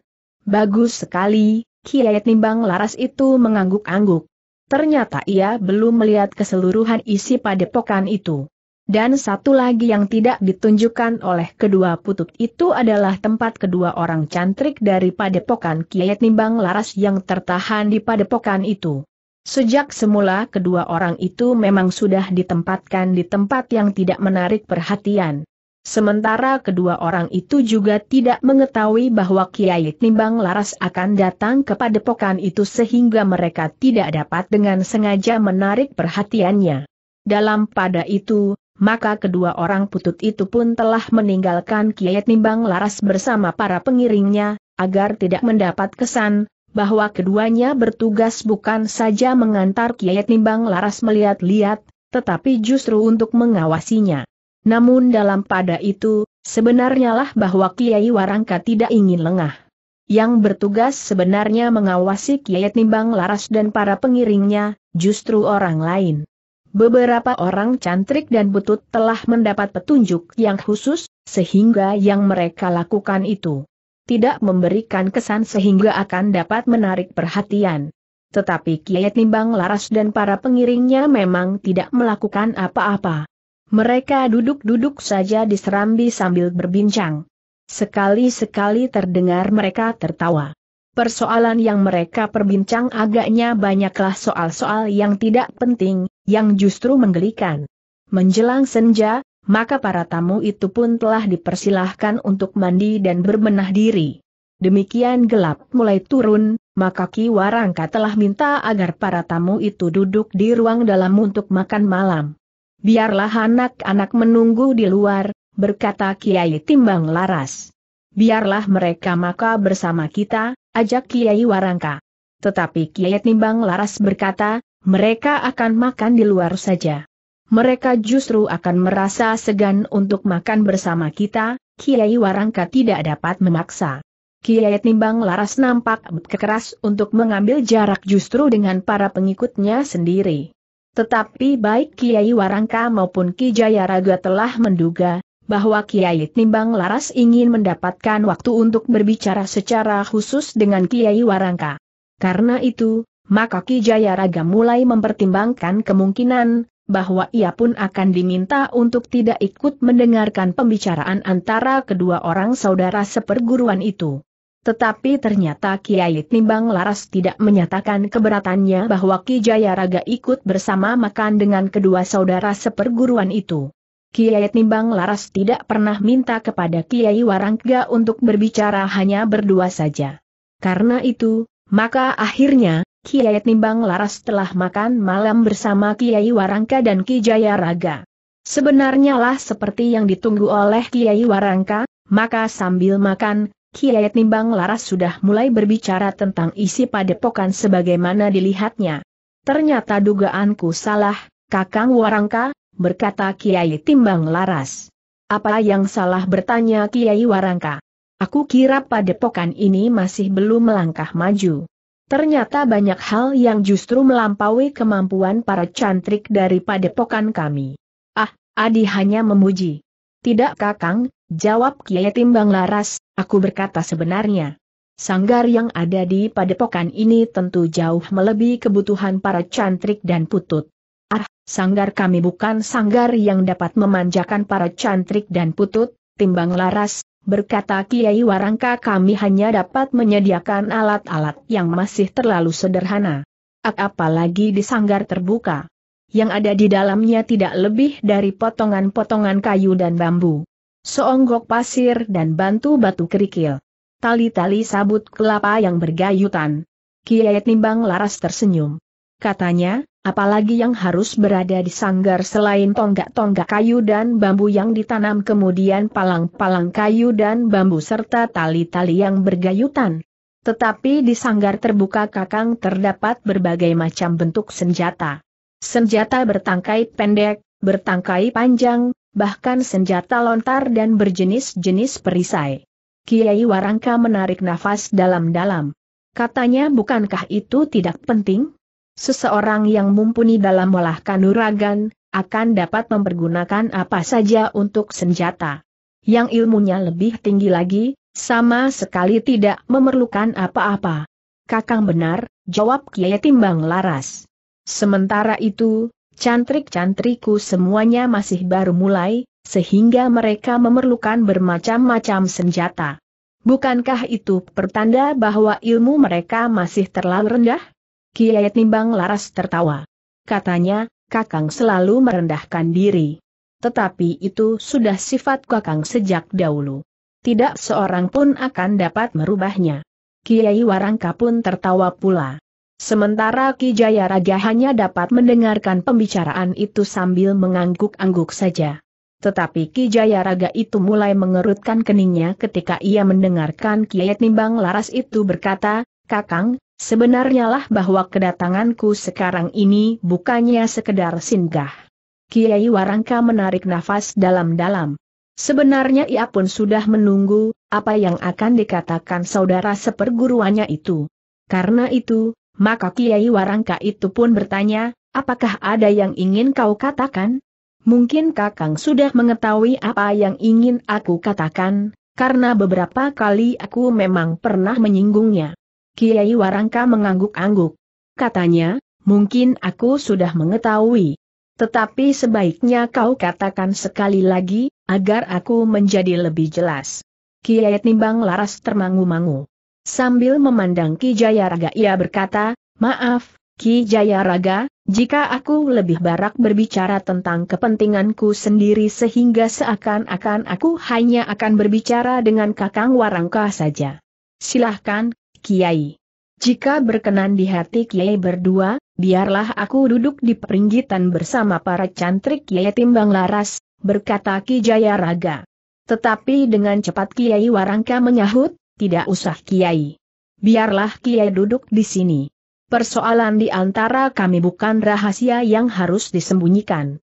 Justru Ki Jaya Raga mungkin akan dapat memberikan banyak masukan kepada kami berdua, sehingga jika ada persoalan di antara kami, akan dapat kami selesaikan dengan baik.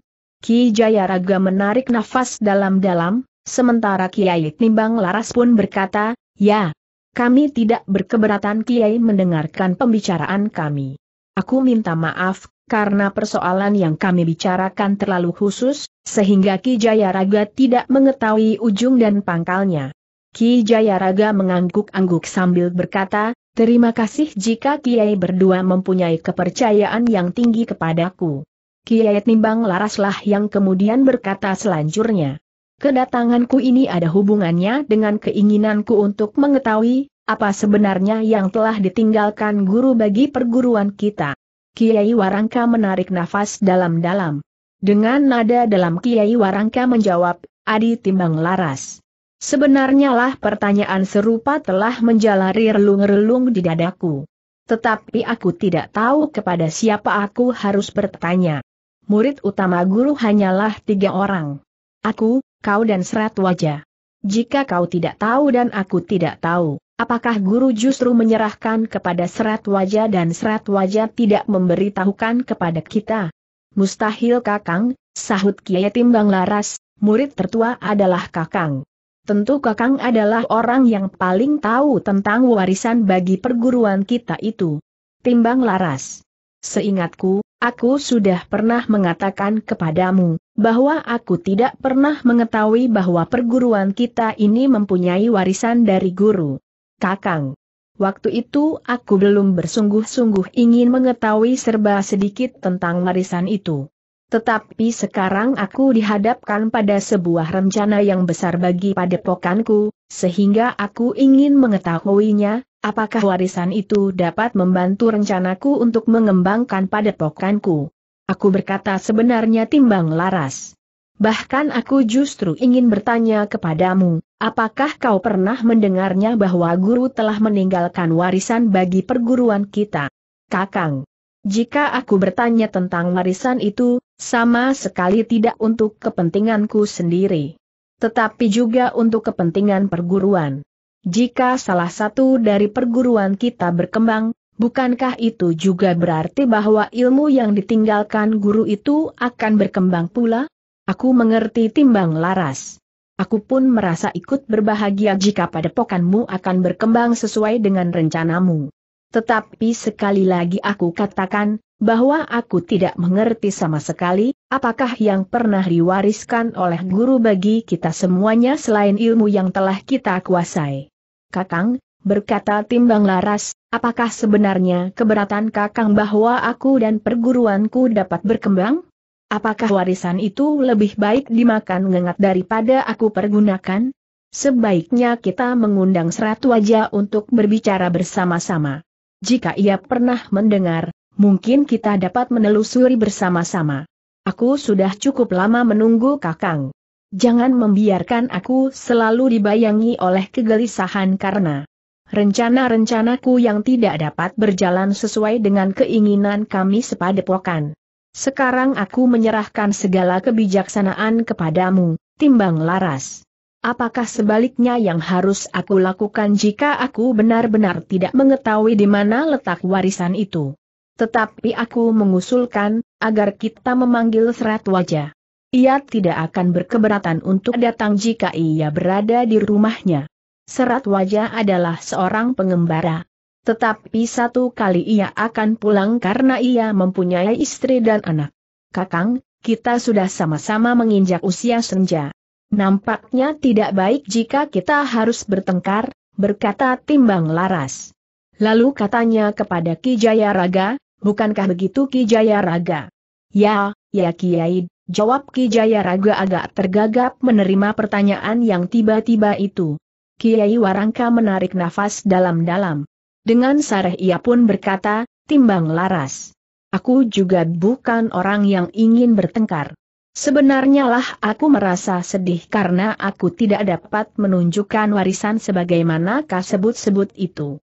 Aku tidak mengira bahwa Kakang benar-benar bersikap keras. Aku yang telah mengenal sifat dan watak Kakang, sebenarnya tidak dapat mengerti, kenapa sifat dan watak Kakang itu berubah. Aku menyerahkan segala-galanya kepadamu, timbang laras. Apa yang sebaiknya harus aku lakukan, justru karena aku benar-benar tidak tahu apa yang kau maksudkan berkata Kiai Warangka kemudian. Lalu katanya pula, bahkan aku minta, kau sebutkan, apa yang kau ketahui tentang warisan itu. Katakan, bahwa aku hanya sekedar berpura-pura. Tetapi jika kau mau mengatakannya apa yang kau dengar tentang wujud warisan itu, mungkin akan dapat membantu ingatanku untuk mengetahui, di mana kira-kira warisan itu sekarang ini. Timbang Laras termangu-mangu sejenak. Namun kemudian katanya, baiklah. Aku akan menyebutkannya, meskipun sebenarnya Kakang tentu sudah mengetahuinya. Warisan itu tersimpan dalam sebuah peti tembaga yang besar dan berat. Bukankah kita sering melihat peti tembaga itu di sanggar khusus guru semasa hidupnya? Kiai Warangka mengangguk-angguk, katanya, aku ingat tentang peti tembaga itu. Sanggar khusus guru itu berada di padepokan ini. Nah, bukankah wajar jika aku bertanya kepada Kakang, di mana peti tembaga itu sekarang? Dai Kiai Warangka nampak berkerut.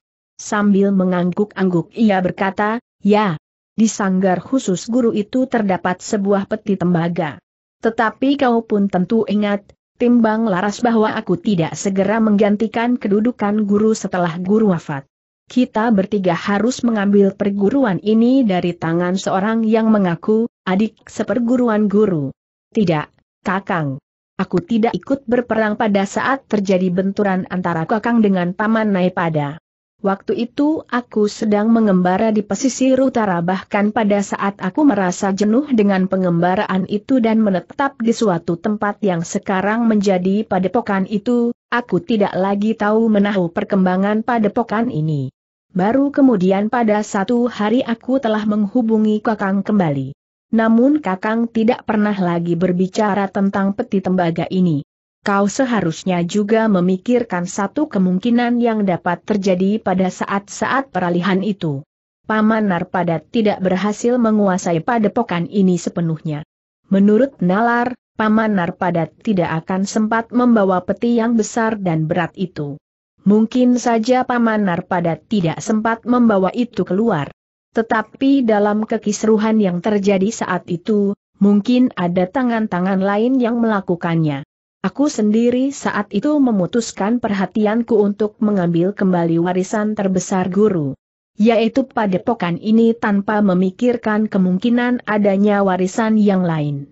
Tetapi setelah segala-galanya dapat Kakang atasi, Kakang tidak pernah menyebut-nyebutkan tentang peti tembaga itu. Kakang tidak pernah mengatakan kepadaku, bahwa kita telah kehilangan. Kakang nampaknya, merasa tenang-tenang saja meskipun peti tembaga itu tidak lagi berada di lemparnya. Baiklah, timbang laras. Lalu akan memerintahkan dua orang cantrik untuk menemui serat wajah. Aku ingin ia ada di antara kita untuk membicarakan tentang peti tembaga itu. Mungkin serat wajah mengetahui apa yang terjadi, Setidak-tidaknya mengingat sesuatu yang dapat kita pergunakan untuk menelusuri arah hilangnya peti lembaga itu. Untuk sementara, aku dapat menyetujuinya kakang, tetapi aku tidak akan dapat menunggu terlalu lama. Rencanaku harus berjalan secepatnya. Besok pagi-pagi kedua orang cantriku akan berangkat. Jika serat wajah ada di rumah, maka besok lusa ia akan berada di sini. Tidak perlu secepat itu kakang. Aku mempunyai waktu sepekan. Besok aku akan minta diri. Sepekan lagi aku akan datang kemari. Meskipun aku harus menempuh perjalanan panjang, tetapi itulah yang terbaik bagiku. Dalam keadaan sekarang ini, aku tidak dapat meninggalkan padepokanku terlalu lama. Bukankah tidak akan lebih dari dua hari bertanya Kiai Warangka. Jika besok pagi-pagi aku pulang, maka besok malam aku sudah berada di padepokan. Sepekan lagi aku akan datang kemari. Mudah-mudahan Adi Serat Wajah sudah berada di sini. Tanda pisah N. Baiklah, berkata Kiai Warangka, aku akan berusaha untuk menghadirkan Serat Wajah sebelum sepekan.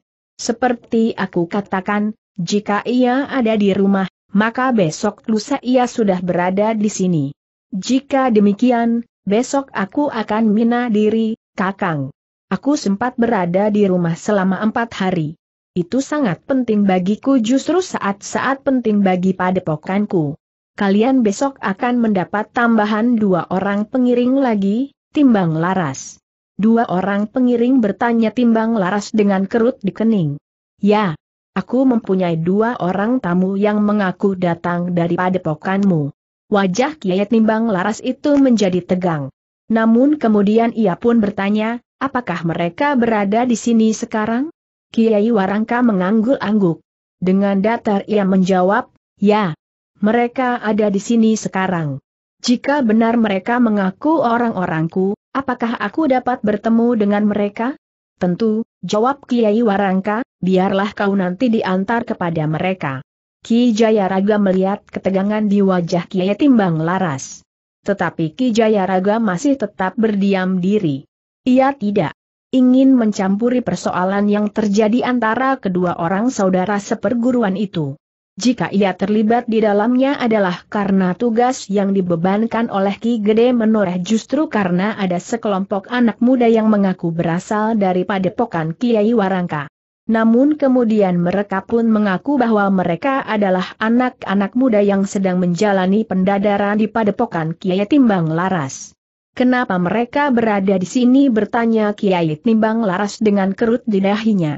Kakang, izinkan aku menemui mereka. Kau tentu akan diantar kepada mereka. Tetapi masih ada satu pertanyaan lagi, Timbang Laras. Bukan dari aku. Tetapi dari Ki Jaya Raga. Pertanyaan apa Kiai Timbang Laras memandang Ki Jaya Raga dengan sorot matanya yang membayangkan berbagai macam pertanyaan. Maaf, Kiai, berkata Ki Jaya Raga, aku tidak mengerti, di mana letak kesalahannya. Tetapi beberapa hari yang lalu, sekelompok anak muda nampak berada di tanah perdikan menoreh. Karena kami, orang-orang tanah perdikan menoreh belum mengenal mereka, maka kami telah membawa mereka ke Banjar untuk sekedar berbincang. Ternyata mereka mengaku datang dari padepokan Kiai Timbang Laras. Mereka adalah anak-anak muda yang sedang mengalami pendadaran sebelum mereka diterima menjadi cantrik di padepokan Kiai Timbang Laras. Oh, Kiai Timbang Laras mengangguk-angguk, jadi mereka berkeliaran sampai ke sedemikian jauh? Apakah yang mereka lakukan itu atas kehendak mereka sendiri atau atas perintah Kiai Timbang Laras bertanya Ki Jaya Raga. Kiai Timbang Laras tersenyum. Katanya, ternyata mereka tidak layak untuk diterima menjadi cantrik di padepokanku. Agaknya mereka terlalu dungu untuk dapat menerima berbagai macam ilmu dan pengetahuan, Kiai Timbang Laras itu berhenti sejenak. Lalu ia pun bertanya, apalagi yang mereka katakan? Kiai Jaya Raga menarik nafas. Ia memang merasa ragu ketika ia berpaling memandangi Kiai Warangka, maka Kiai Warangka itu pun berkata, nah, mumpung Ki Jaya Raga bertemu dengan Timbang Laras. Barangkali banyak hal yang akan ditanyakan. Ki Jagabaya menarik nafas dalam-dalam. Namun kemudian katanya, Kiai. Ketika kami bertanya kepada mereka, Mula-mula mereka mengaku cantrik dari padepokan Kiai Warangka. Namun kemudian mereka telah berterus terang bahwa mereka adalah anak-anak muda yang sedang menjalani pendadaran di padepokan Kiai Timbang Laras. Wajah Kiai Timbang Laras menegang. Dengan suara yang berat ia berdesis, bukan hanya dungu, tetapi mereka benar-benar tidak punya otak. Apa yang seharusnya terjadi, Kiai Timbang Laras bertanya Ki Jaya Raga. Aku menyesal bahwa hal itu telah terjadi. Aku dapat membayangkan bahwa mereka tidak sekedar berada di tanah perdikan menoreh. Tetapi mereka tentu sudah berbuat sesuatu yang tercela. Ki Jayaraga termangu-mangu sejenak. Tetapi ia menunggu, apa yang akan dikatakan oleh Kiai Timbang Laras. Ki Jayaraga, berkata Kiai Timbang Laras kemudian, Aku memang memerintahkan agar mereka melakukan sedikit perjalanan untuk mengenal satu lingkungan tertentu sebelum mereka dapat aku terima untuk menjadi cantrik di padepokanku. Aku memberikan arah kepada mereka yang antara lain memang aku sebut tanah perdikan menoreh. Aku telah mengatakan kepada mereka, bahwa padepokan Kiai Warangka, saudaraku seperguruan letaknya tidak terlalu jauh dari tanah perdikan menoreh. Itulah agaknya yang telah memberikan gagasan kepada mereka untuk mengatakan bahwa mereka datang dari padepokan Kiai Warangka. Ki Jayaraga mengangguk-angguk.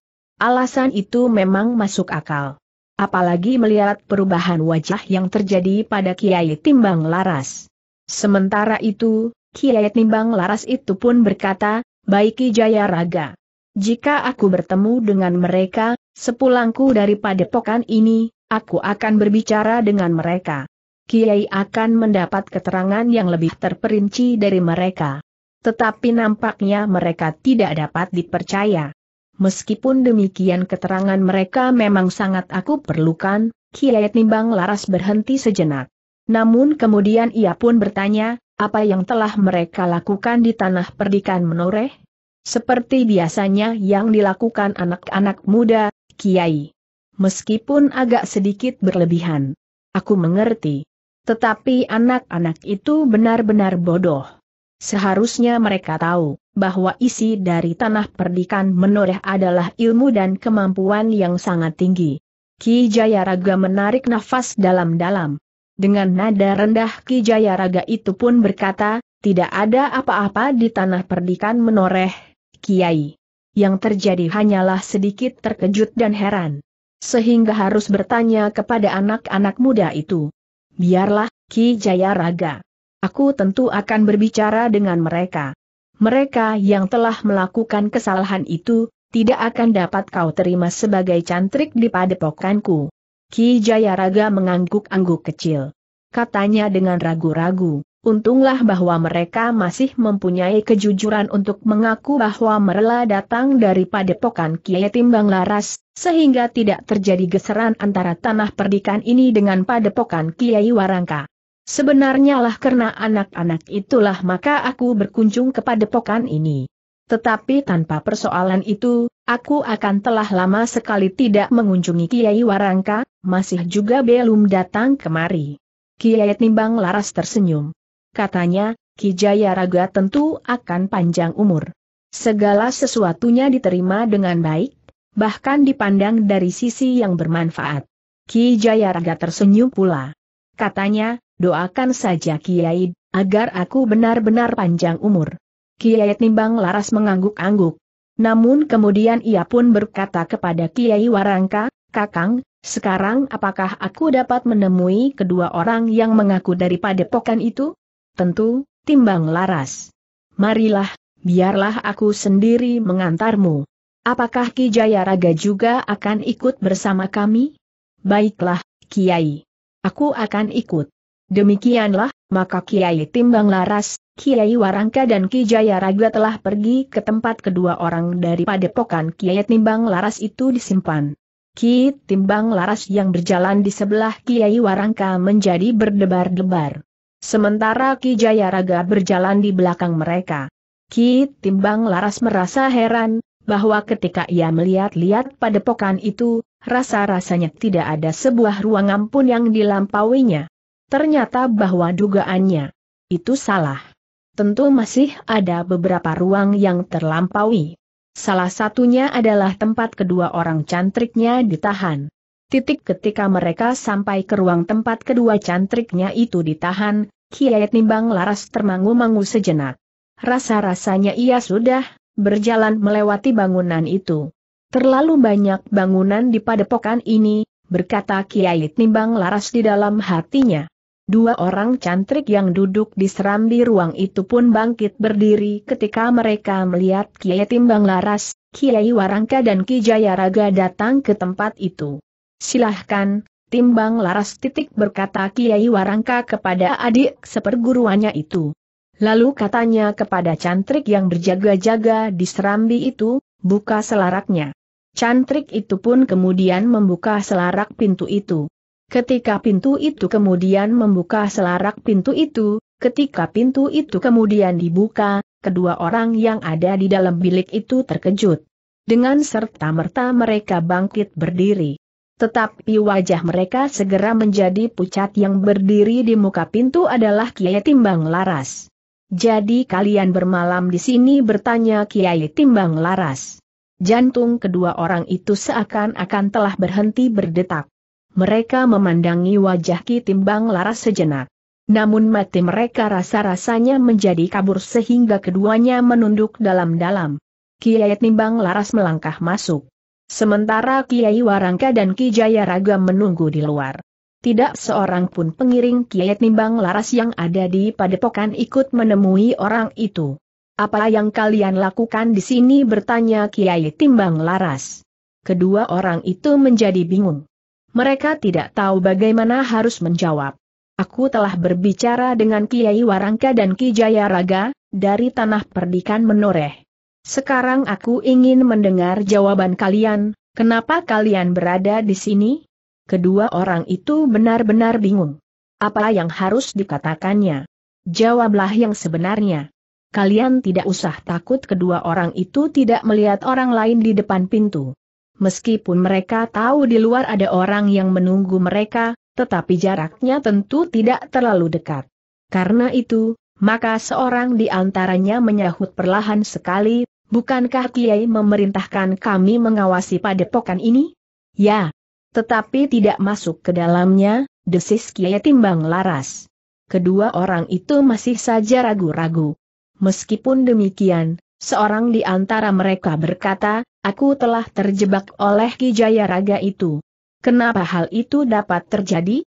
Perlahan-lahan dan dengan hati-hati orang itu menceritakan bagaimana keduanya mengawasi Ki Jaya Raga. Namun justru merekalah yang telah ditangkap. Adalah di luar dugaan bahwa Kiai Timbang Laras itu tertawa. Katanya, betapa dungunya cantrik-cantrik dari padepokanku. Tetapi baiklah, Kiai Warangka sudah mengisyaratkan bahwa besok kalian dapat kembali bersamaku. Kedua orang itu saling berpandangan sejenak. Sementara Kiai Timbang Laras pun berkata, kita akan membicarakan persoalan ini di padepokan kita sendiri. Kedua orang itu tidak menjawab. Karena keduanya hanya berdiam diri, maka Kiai Timbang Laras itu pun berkata, di luar ada Ki Jaya Raga dan Kiai Warangka. Tetapi nampaknya mereka tidak akan berbicara apa-apa sekarang ini. Entahlah besok menjelang kalian meninggalkan padepokan ini. Kedua orang itu masih saja berdiam diri. Tetapi mereka menjadi sangat berdebar-debar. Mereka selalu meragukan sikap Kiai Timbang Laras. Jika Kiai Timbang Laras nampak tersenyum-senyum, berbicara dengan manis dan bahkan sekali-kali menepuk bahu, maka kemudian yang terjadi justru sebaliknya. Kemarahan yang ditahan di balik sikap manisnya itu pada suatu saat akan dapat meledak. Namun malam itu Kiai Timbang Laras memang tidak berbuat apa-apa.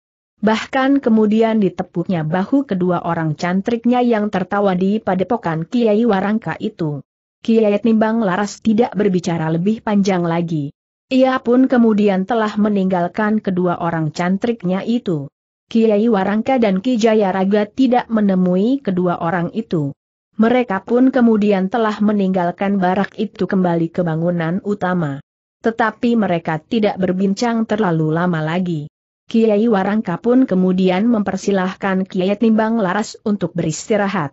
Sebelum Kiai Timbang Laras masuk ke dalam biliknya, maka ia sempat berbicara dengan para pengiringnya sejenak. Namun kemudian Kiai Timbang Laras itu pun berkata beristirahatlah. Aku juga akan beristirahat. Sejenak kemudian, maka pada pokan Kiai Warangka pun menjadi sepi. Ki Jayaraga dan Kiai Warangka sendiri juga segera masuk ke dalam bilik mereka. Dalam pada itu, Malam itu juga pasukan Mataram yang menuju ke Pati sedang beristirahat pula di perjalanan. Tetapi malam itu Gelagah Putih ternyata tidak sempat beristirahat karena ia mendapat tugas untuk menghubungi pasukan induk yang dipimpin oleh Panembahan Senapati. Gelagah Putih telah mendapat tugas bersama seorang prajurit malam itu mereka harus memberikan laporan dan sekaligus mendapatkan keterangan tentang keberadaan pasukan induk dan pasukan yang satu lagi, yang melalui jalur paling kanan. Lewat tengah malam, maka gelagah putih telah melarikan kudanya melalui jalan-jalan yang belum pernah dikenalnya. Tetapi mereka telah mendapat petunjuk dan ancar-ancar ke mana mereka harus pergi. Meskipun malam gelap pekat, namun gelagah putih dan prajurit yang terpilih untuk menjadi penghubung itu akhirnya dapat menemukan tujuan mereka. Ketika mereka sampai ke sebuah padang perdu, maka mereka merasa bahwa mereka telah menempuh arah yang benar. Apalagi ketika mereka melihat dua batang pohon raksasa di sebelah sebuah batu yang besar. Tidak jauh dari kedua pohon raksasa itu terdapat sebuah kolam yang mata airnya terhitung deras, sehingga dari belumbang itu mengalir sebuah parit yang mengalir menuju ke sebuah sungai. Sayang, berkata gelagah putih, jika saja air itu dimanfaatkan, maka padang perdu ini akan menjadi sawah yang subur. Tetapi prajurit itu menyahut, orang-orang di daerah ini merasa mempunyai kelebihan tanah garapan. Sawah yang ada pun kadang-kadang tidak tergarap. Dari mana kau tahu bertanya gelagah putih? Aku mendapat banyak penjelasan tentang lingkungan ini. Tetapi aku juga belum pernah melihat sebelumnya. Di dini hari, Gelagah Putih dan seorang prajurit yang pergi bersamanya telah sampai ke tujuan. Sebuah padukuhan yang tidak begitu besar. Namun ternyata prajurit Mataram justru tidak berada di dalam padukuhan itu. Mereka justru menebar di luar padukuhan sekelompok prajurit telah menghentikan gelagah putih dan kawannya ketika mereka mendekati peristirahatan para prajurit Mataram itu. Sebut kamu bentak seorang prajurit yang langsung menjulurkan tombak ke dalam gelagah putih, sementara prajurit yang lain meletakkan ujung tombak di pundaknya. Tujuh, jawab gelagah putih dan kawannya hampir berbareng. Buah yang telah matang? Kapuk randu, sahut kedua orang penghubung itu. Ujung-ujung tombak itu pun kemudian telah merunduk. Dengan nada yang lebih dalam, prajurit itu bertanya, siapa nama pengiringmu? Bintang api jawab gelagah putih, sementara kawannya menjawab, Mega-Mega. Para prajurit yang menghentikan gelagah putih dan prajurit yang berkuda bersemanya itu berkata, teruslah. Kalian akan bertemu dengan perwira penghubung yang akan menerima kalian.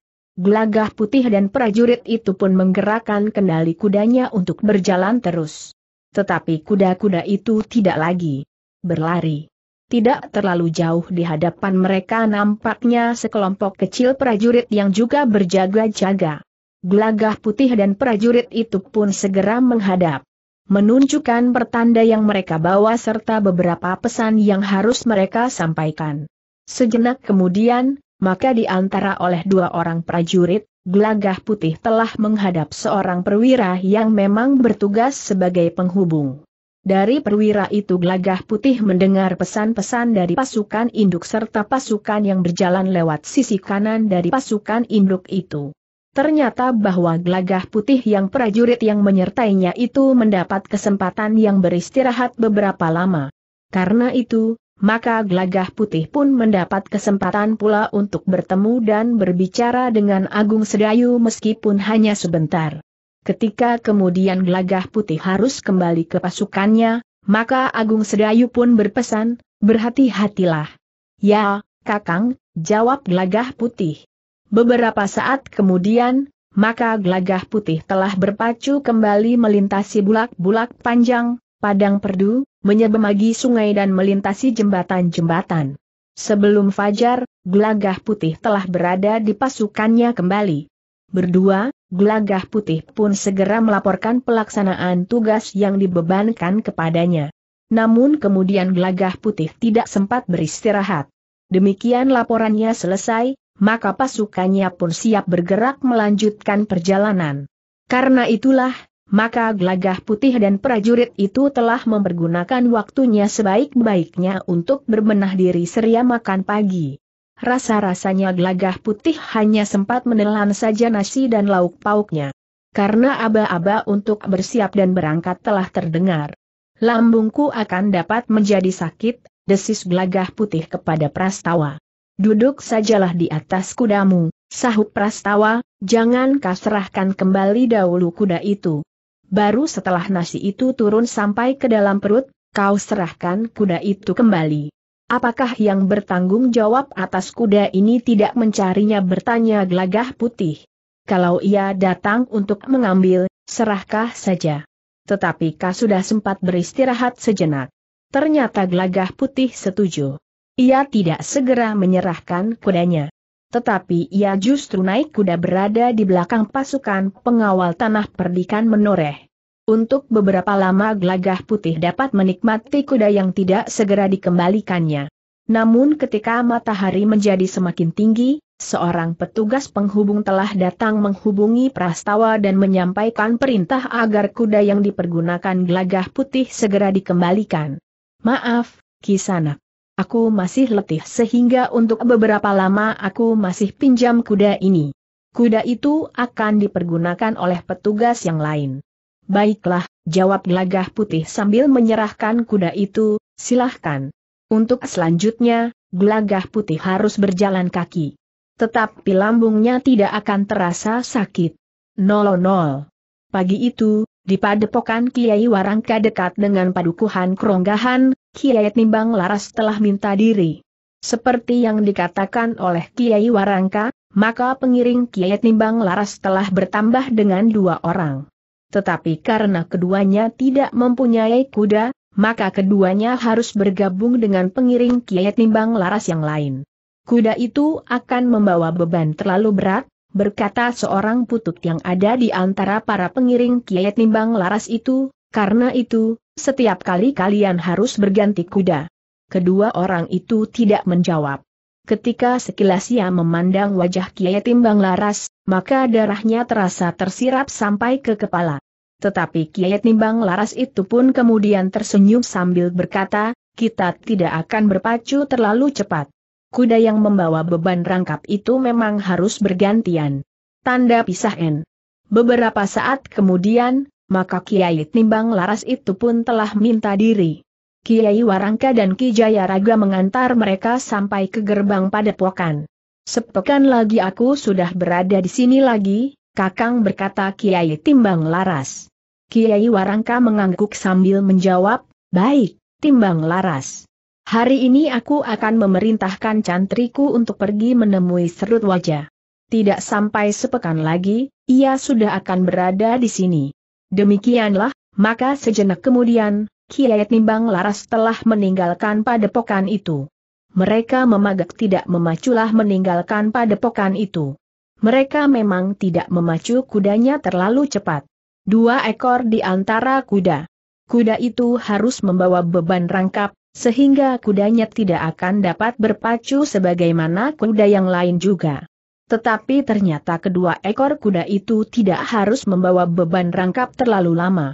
Ketika mereka sudah melewati dua buah padukuhan, Kiai Timbang Laras memberi isyarat agar iring-iringan itu berhenti.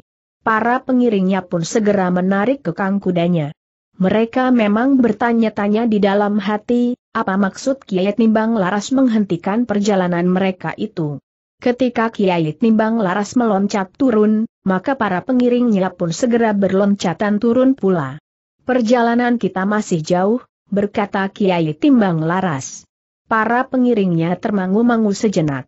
Sementara itu, kedua orang yang telah tertawan di padepokan Kiai Warangka menjadi sangat berdebar-debar. Ketika mereka memandang wajah Kiai Timbang Laras, jantung mereka seakan-akan telah berhenti berdetak. Senyum yang mereka lihat melekat di bibir Kiai Timbang Laras itu bagaikan tajamnya ujung welat yang teracu ke perut mereka.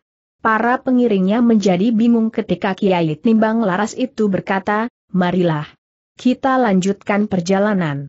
Naiklah ke kuda kalian masing-masing. Perintah itu terdengar aneh di telinga para pengiringnya namun tanpa bertanya lebih jauh, maka mereka pun segera berloncatan naik ketika Kiai Timbang Laras telah meloncat naik pula. Tetapi sekali lagi Kiai Timbang Laras itu berkata naiklah ke punggung kuda masing-masing. Dalam waktu sekejap, para pengiringnya telah berada di punggung kudanya. Namun dua orang yang telah tertawa di padepokan Kiai Warangka itu masih tetap berdiri termangu-mangu. Para pengiring Kiai Timbang Laras yang semula berada di satu punggung kuda dengan orang-orang itu termangu-mangu. Bahkan seorang di antara mereka berkata, cepat. Kenapa kau diam saja? Tetapi yang menyahut adalah Kiai Timbang Laras, naiklah ke punggung kuda kalian masing-masing. Barulah para pengiring itu jelas maksudnya. Kiai Timbang Laras tidak ingin membawa kedua orang itu bersamanya. Marilah kita lanjutkan perjalanan. Namun sebelum kuda-kuda itu berlari-lari, Kiai Timbang Laras itu pun berkata, aku ingin berbicara dengan kalian berdua. Sebelum kedua orang itu sempat menjawab, Kiai Timbang Laras telah melarikan kudanya, meneruskan perjalanannya kembali kepada epokannya. Para pengiringnya pun kemudian telah menyusulnya pula. Sekali-sekali mereka masih berpaling memandang kedua orang yang berdiri termangu-mangu itu. Kawan-kawannya yang melarikan kuda mereka mengikuti Kiai Timbang Laras, tidak tahu pasti, apakah kesalahan kedua orang kawannya itu. Namun bahwa keduanya berada di padepokan Kiai Warangka, memang telah menimbulkan pertanyaan di hati kawan-kawannya itu. Kedua orang yang ditinggalkan itu pun berdiri termangu-mangu. Sejenak mereka diam memantung. Namun kemudian seorang di antara mereka pun berkata, apa yang akan kita lakukan? Kita harus kembali ke padepokan. Kita dapat menduga, apa yang akan terjadi atas diri kita, karena kesalahan yang pernah kita buat. Apakah kita harus kembali ke padepokan? Kita dapat saja tidak kembali dan mencoba untuk melarikan diri tetapi kita akan menjadi buruan seumur hidup kita. Jika kita tertangkap, maka nasib kita akan menjadi lebih buruk lagi. Kawannya menarik nafas dalam-dalam. Katanya, baiklah. Kita akan kembali ke padepokan dengan berjalan kaki. Bukankah kita juga berjalan kaki ketika kita pergi ke padukuhan Kiai Warangka? Kawannya mengangguk-angguk. Katanya, ya. Kita tidak mempunyai pilihan. Demikianlah kedua orang itu pun segera melanjutkan perjalanan mereka. Berjalan kaki itu sendiri bagi mereka tidak menjadi soal, karena mereka tidak akan kehabisan nafas di perjalanan. Tetapi yang merisaukan mereka, apakah yang akan mereka alami nanti, jika mereka telah berada di padepokan. Meskipun demikian, mereka melangkah terus, karena mereka tidak dapat kembali atau mencari jalan lain. Panas matahari semakin teras menyengat tubuh. Langit nampak tenang. Angin yang kering bertiup mengguncang di daunan. Pohon turi yang tumbuh di tanggul parit mulai berbunga. Bunganya yang putih nampak menyembul di antara daunnya yang hijau rimbun.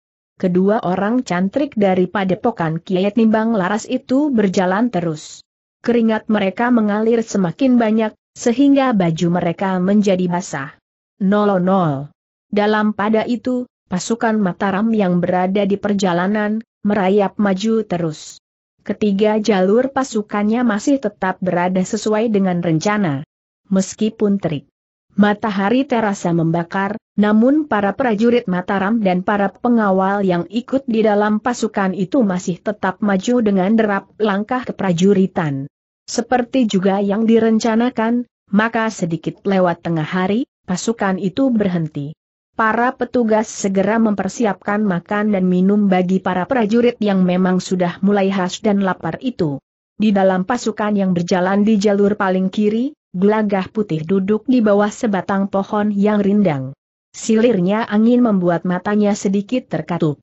Setelah makan dan minum, maka mata gelagah putih rasa-rasanya tidak lagi dapat dibuka.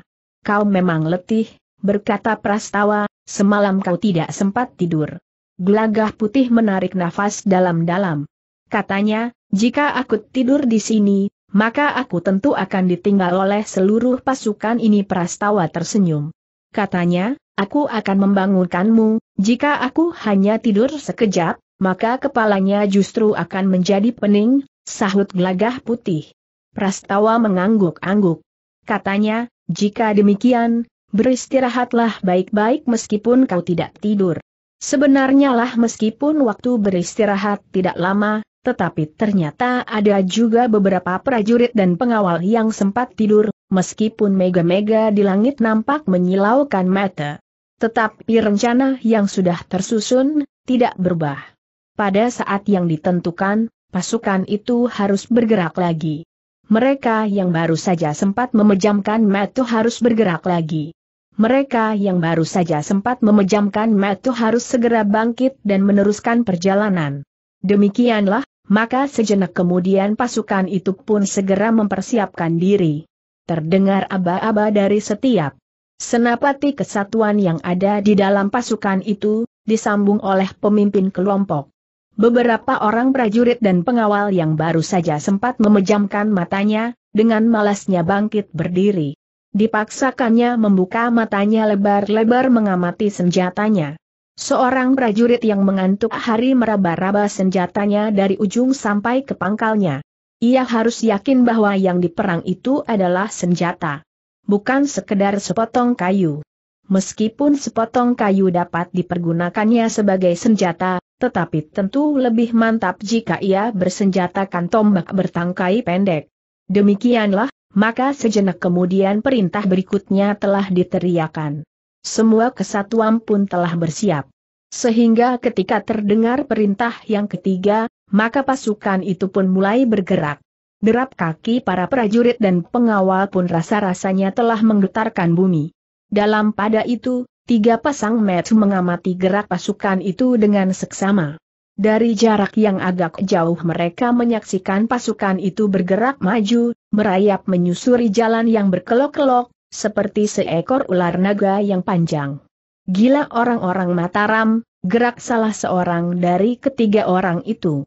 Mereka sedang dalam perjalanan membunuh diri. Mereka tidak mengira bahwa pasukan Pati sudah siap menunggu, seperti mulut seekor buaya yang sedang menganga. Ada dua kemungkinan.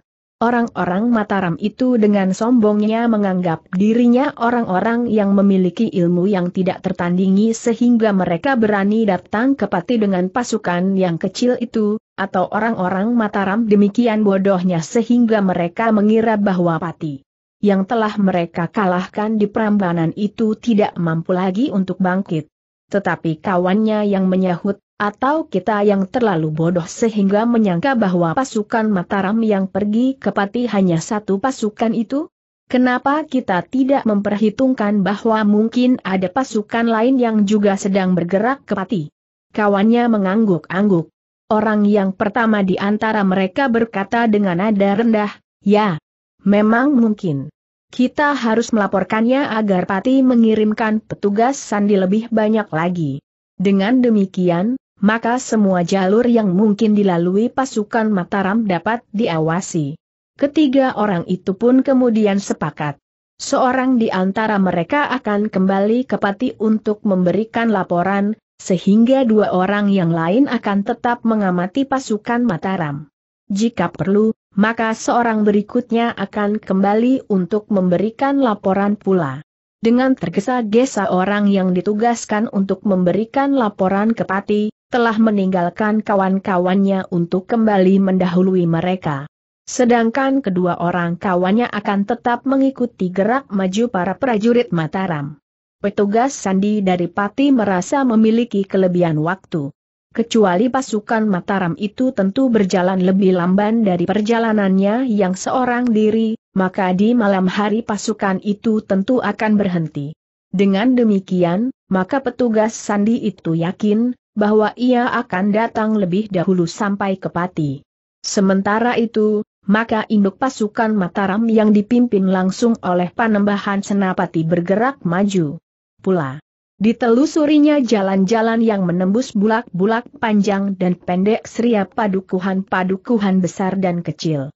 Pasukan induk Mataram memang kelihatan lebih besar dari kedua pasukan yang berjalan di sisi kanan dan di sisi kiri pasukan induk itu pada jarak yang agak jauh tetapi hubungan antara pasukan induk dan kedua pasukan yang lain berjalan dengan lancar sebagaimana mereka rencanakan. Namun sebenarnya lah para petugas sandi dari Pati tidak sedang tertidur di sorangnya. Karena itu, maka petugas sandi yang sudah ditempa dengan sungguh-sungguh sebelum diterjunkan ke dalam tugasnya itu tidak mengecewakan.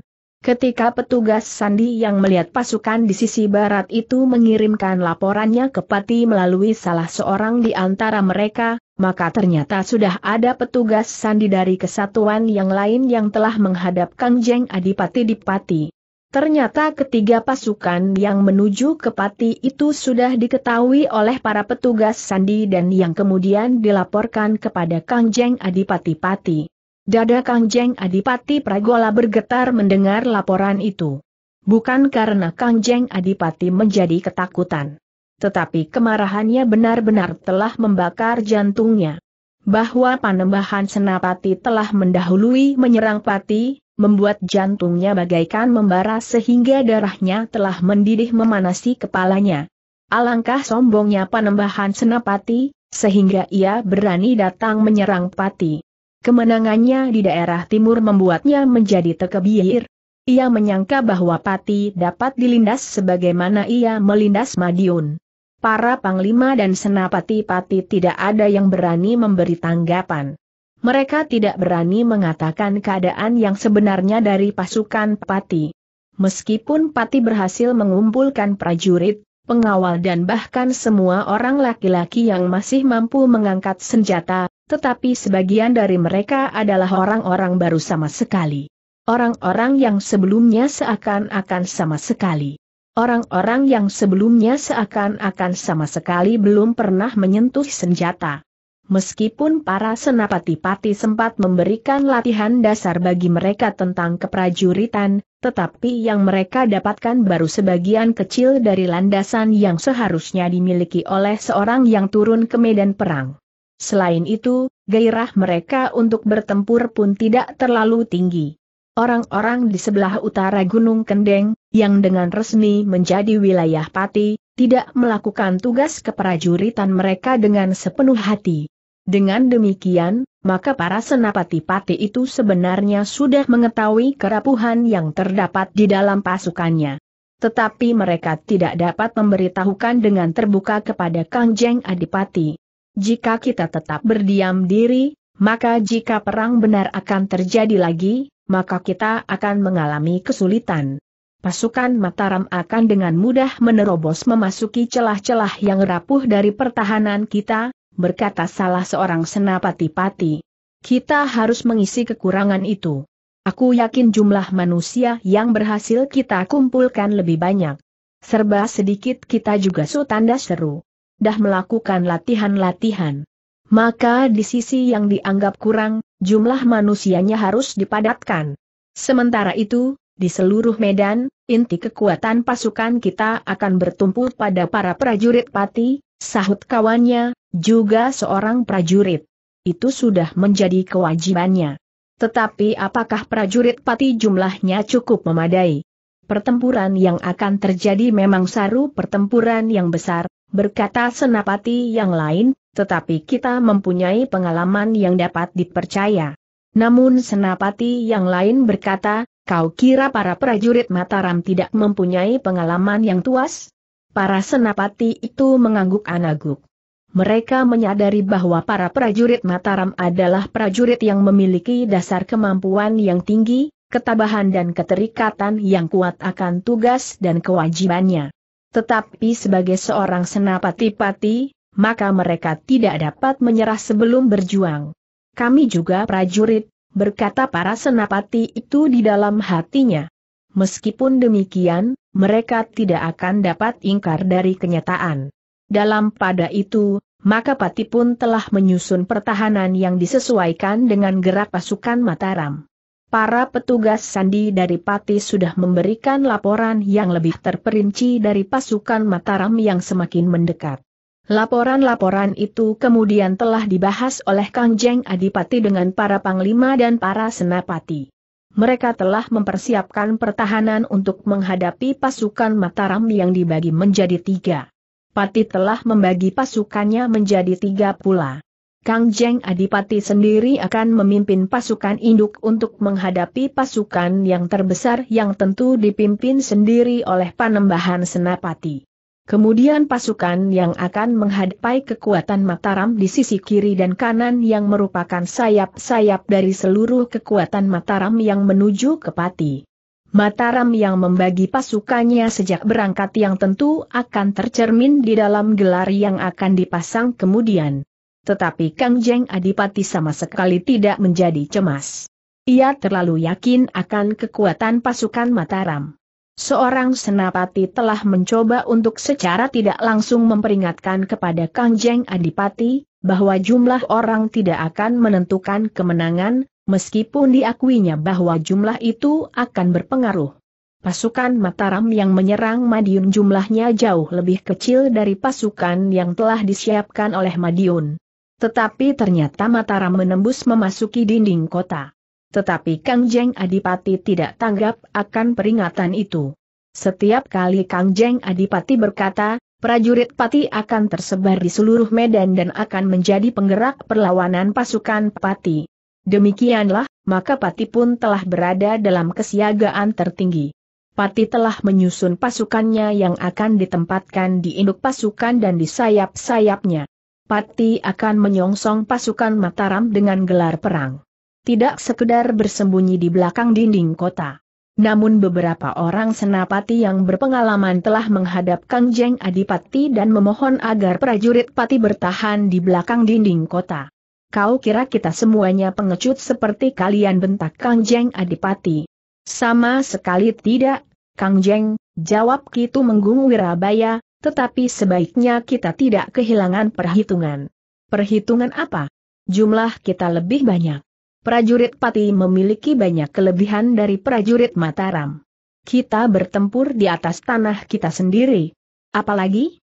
Jika kita bertempur dari balik dinding, maka kita dapat menyusut korban sebanyak-banyaknya. Sementara itu, jika kita cukup terampil, kita akan dapat menelan korban lebih banyak lagi. Kita bukan pengecut, bentak Kang Jeng Adipati. Bukan Kang Jeng. Seperti sudah kami katakan, bukan karena kita pengecut. Tetapi sebagaimana kita di Prambanan bertempur di belakang benteng kayu gelugu itu, justru karena kita memperhitungkan banyak kemungkinan. Itu tidak akan terulang lagi. Kang Jeng, keputusan untuk bertahan di belakang benteng di pesanggerahan itu justru merupakan satu keputusan yang bijaksana.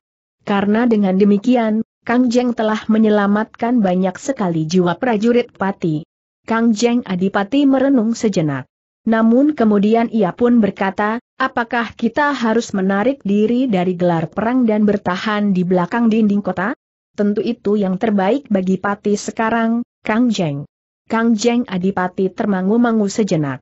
Kemudian katanya, jika kita berada di belakang dinding kita maka ruang gerak kita sangat terbalas. Kita tahu bahwa pasukan Mataram membawa bekal yang cukup banyak bagi pasukannya. Dipati mereka dapat mengambil beras, padi dan jagung sekehendak hati mereka. Dengan demikian maka pasukan Mataram itu tidak akan kehabisan bahan makanan. Berbeda dengan kita yang berada dalam keterbatasan. Jika Mataram mengepung dinding kita untuk waktu yang lama, kita akan dapat kehabisan pangan. Kita masih mempunyai kesempatan untuk mengumpulkan bahan pangan. Setidak-tidaknya dalam dua hari. Sementara kita, dapat meninggalkan beberapa kelompok kecil prajurit yang dengan sukarela menyatakan diri untuk mati dalam peperangan. Apa yang akan mereka lakukan bertanya Kang Jeng Adipati-Pati mereka akan mengacaukan persediaan makan para prajurit Mataram. Sasaran mereka adalah lumbung-lumbung yang mereka bangun untuk sementara selama perang. Petiati-petiati yang penuh dengan pati, beras dan jagung. Menghalangi para prajurit Mataram yang berusaha mengumpulkan bahan makanan baru. Kang Jeng Adipati-Pati mulai berpikir tentang kemungkinan-kemungkinan yang dapat terjadi di Pati. Tetapi sesuatu telah bergejolak di dalam hatinya, apabila ia harus menarik pasukannya untuk bertempur di belakang dinding kota. Seakan-akan Pati telah bersembunyi untuk sekedar menyelamatkan diri. Dalam pada itu, para penghubung telah memberikan laporan bahwa prajurit Mataram telah menjadi semakin dekat. Apakah hari ini mereka akan sampai ke Pati? Tidak. Belum hari ini. Mereka bergerak dengan sangat lamban, karena mereka membawa beberapa buah petiati berisi pangan. Kapan mereka akan sampai? Dua hari lagi, jawab prajurit itu, secepat-cepatnya esok sore. Kang Jeng Adipati mengangguk-angguk. Sejenak dipandanginya beberapa panglima dan senapati yang datang menghadapnya. Ternyata bahwa beberapa orang Tumenggung itu berhasil meyakinkannya, sehingga katanya, aku minta waktu sampai nanti sore. Segala sesuatunya terserah kepada Kang Jeng Adipati. Aku akan mempertimbangkan buruk dan baiknya. Ya, Kang Jeng. Namun demikian, para senapati itu mulai berpengharapan. Jika mereka bertahan di belakang dinding kota, maka mereka akan mendapat kesempatan lebih baik. Dari atas dinding kota mereka dapat berbuat lebih banyak dari pasukan Mataram yang berada di luar dinding. Meskipun Kang Jeng Adipati-Pati masih belum memberikan keputusan, tetapi para senapati itu berpendapat hampir pasti, bahwa Pati tidak akan menyongsong pasukan Mataram dalam gelar perang. Dengan demikian, maka para senapati itu pun telah memerintahkan para pemimpin pasukan untuk menyesuaikan diri mereka harus mempersiapkan senjata lontar sebanyak-banyaknya. Bahkan para senapati itu pun telah memerintahkan untuk melihat semua pintu gerbang dan memperkuatnya. Pintu-pintu gerbang yang cacat harus segera diperbaiki. Jika pasukan pati bertahan di dalam dinding kota, maka pintu gerbang akan menjadi sasaran utama para prajurit Mataram. Sementara itu, para senapati setelah menghubungi beberapa padepokan yang terpercaya, Pati menawarkan tugas yang sangat berbahaya kepada mereka. Dengan tergesa-gesa Kitu Menggung Wirabaya telah memanggil beberapa pemimpin padepokan. Kepada mereka Kitu Menggung Wirabaya memberitahukan apa yang akan terjadi di Pati. Sebagian para pemimpin padepokan itu sudah mengetahui bahwa para prajurit dari Mataram telah bergerak menyerang Pati. Apakah yang harus kami lakukan bertanya salah seorang pemimpin padepokan itu. Ki Wirabaya termangu-mangu sejenak. Namun kemudian katanya, Pati memerlukan bantuan kalian. Kami sudah berjanji untuk hidup dan mati bagi kejayaan Pati. Terima kasih, berkata Kitu Menggung Wirabaya. Lalu katanya, saat ini kalian dapat membuktikan kesediaan kalian hidup dan mati bersama Pati. Kami menunggu perintah Kitu Menggung. Kitu Menggung itu mengangguk-angguk. Dengan nada berat Kitu Menggung kemudian berkata, Kang Jeng Adipati-Pati sudah memutuskan bahwa Pati akan bertahan di belakang dinding kota. Karena itu, maka kekuatan terbesar akan segera ditarik masuk ke dalam kota. Apakah kami juga harus ikut masuk ke dalam kota? Tidak. Justru karena itu, kami ingin bicara langsung dengan kalian. Bukan sekedar mengirimkan penghubung untuk menghubungi kalian. Tugas apakah yang akan dibebankan kepada kami bertanya salah seorang dari para pemimpin padepokan itu. Kira-kira dalam dua hari ini pasukan Mataram akan sampai di Pati. Mereka tentu akan mengepung kota, karena pasukan Pati akan bertahan di belakang dinding kota. Sementara itu, pasukan Mataram tentu akan berkemah tidak terlalu jauh. Mereka akan membuat lumbung-lumbung pangan untuk menyimpan persediaan pangan bagi para prajurit. Mataram. Baik induk paskannya, maupun pasukan yang akan menjadi sayap-sayap gelarnya. Para pemimpin padepokan itu mendengarkan keterangan Kitu Menggung Wirabaya dengan saksama. Sementara itu Kitu Menggung pun berkata selanjutnya, karena para prajurit dan pengawal yang disiagakan Pati akan berkumpul di dalam dinding kota, maka kami memerlukan kelompok-kelompok kecil yang tetap berada di luar kota kami memang akan meninggalkan beberapa kelompok prajurit yang akan kami titipkan pada beberapa padepokan, agar semua gerakan dapat dikendalikan dengan pasti.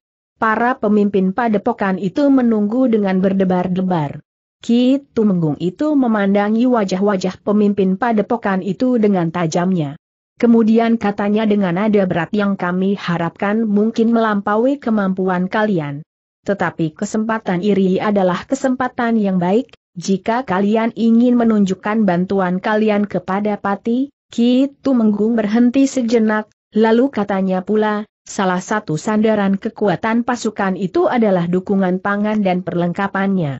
Nah, dari sisi inilah kami akan memperlemah pasukan Mataram. Maksud Ki Tumenggung, kami harus berusaha menghancurkan persediaan pangan dan perlengkapan mereka. Tanda tanya bertanya salah seorang dari mereka. Tetapi, sahut Kitu Menggung, tetapi untuk melakukannya tentu diperlukan syarat-syarat khusus. Syarat apa yang Kitu Menggung maksudkan bertanya pemimpin padepokan yang lain. Terutama kesediaan untuk berkorban. Bayangan maut selalu mengikuti setiap langkah. Salah seorang pemimpin padepokan itu tertawa. Katanya apakah Kitu Menggung meragukan kesetiaan kami bukankah kami sudah menyatakan kesediaan kami untuk bertempur melawan Mataram dengan segala macam cara. Aku tahu, jawab Kitu Menggung Wirabaya, tetapi tugas yang satu ini adalah tugas yang sangat berat. Karena itu, harus dipilih orang-orang yang benar-benar berani dan bersedia untuk melakukan tugas itu dengan batas mati. Bukankah sejak semula kami sudah menyatakan kesediaan kami untuk mati? Aku mengerti. Justru karena itu, kami telah memanggil untuk berbicara dengan para pemimpin padepokan, sahut Kitu Menggung. Pembicaraan itu kemudian berlangsung semakin bersungguh-sungguh mereka mulai merambah pada tugas-tugas yang harus mereka lakukan bersama dengan beberapa kelompok prajurit mereka harus berusaha membakar dan memusnahkan pangan dan perlengkapan yang tentu dijaga ketat oleh para prajurit Mataram. Kalian harus memukul dan lari, berkata Kitu Menggung Wirabaya, tetapi setiap kali kalian tentu meninggalkan korban. Satu, dua dan bahkan mungkin lima orang sekaligus. Tanda pisah N. Tidak, Ki Tumenggung, jawab salah seorang pemimpin padepokan, kami tidak akan meninggalkan korban sebanyak itu. Asal prajurit Mataram tidak mampu menangkap angin maka tugas-tugas kami akan dapat kami lakukan dengan baik. Bahkan pangan dan perlengkapan itu dalam waktu singkat terbakar habis. Bagus, sahut Kitu Menggung Wirabaya, namun tugas kalian tidak terbatas pada pembakaran bahan pangan dan perlengkapan itu saja. Para pemimpin padepokan itu termangu-mangu sejenak. Baru sejenak kemudian seorang di antara mereka berdesis jadi, apalagi yang harus kami lakukan? Mencegah pasukan Mataram mengambil bahan pangan ke padukuhan-padukuhan di sekitar kota ini. Pemimpin padepokan itu tertawa. Katanya, kami akan melakukan dengan sebaik-baiknya. Ingat, pasukan Mataram dibagi menjadi tiga. Yang di tengah adalah pasukan induk. Pasukan yang terkuat. Kemudian pasukan yang lebih kecil di sisi kiri dan kanan, yang dipersiapkan untuk menjadi sayap jika terjadi perang gelar. Tetapi Kang Jeng Adipati Pragola telah setuju untuk bertahan di belakang dinding kita, meskipun semula agak berkeberatan. Para pemimpin padepokan itu mengangguk-angguk. Sementara Kitu Menggung Wirabaya berkata, aku akan memberikan beberapa kelompok prajurit untuk membantu kalian. Demikianlah, maka untuk selanjutnya Kitu Menggung telah menyerahkan kepada para pemimpin padepokan itu untuk mengatur diri. Mereka telah mendapat kegambaran bahwa prajurit Mataram telah dipecah menjadi tiga. Waktunya tinggal sedikit sekali. Dalam satu dua hari ini mereka akan sampai dan membuat perkemahan di sekitar kota, berkata Kitu Menggung, nah, terserah kepada kalian, apa yang akan kalian lakukan. Tanda pisah N. Demikianlah, maka Kitu Menggung pun telah memerintahkan dua orang lurah prajurit pilihan untuk menunuk beberapa kelompok prajurit yang akan diperbantukan kepada para pemimpin kelompok itu mereka akan menyatu dalam wujud cantrik-cantrik padepokan untuk melakukan tugas yang berat itu. Demikianlah, malam itu, Kang Jeng Adipati akhirnya memang memutuskan untuk memerintahkan menarik semua kekuatan untuk bertahan di belakang dinding kota. Para pemimpin kesatuan harus mempersiapkan prajurit dan pengawal sebaik-baiknya. Malam itu juga para panglima di Pati telah menyusun kerangka pertahanan sebaik-baiknya mereka telah mengatur penempatan pasukan serta pembagian wilayah. Semua dinding kota, pintu-pintu gerbang utama dan gerbang-gerbang yang lain harus diteliti kembali, agar tidak mudah dipecahkan oleh pasukan Mataram. Di tempat-tempat yang lemah, pertahanan harus diatur dengan cermat agar tidak menjadi lubang-lubang yang akan disusupi oleh para prajurit Mataram.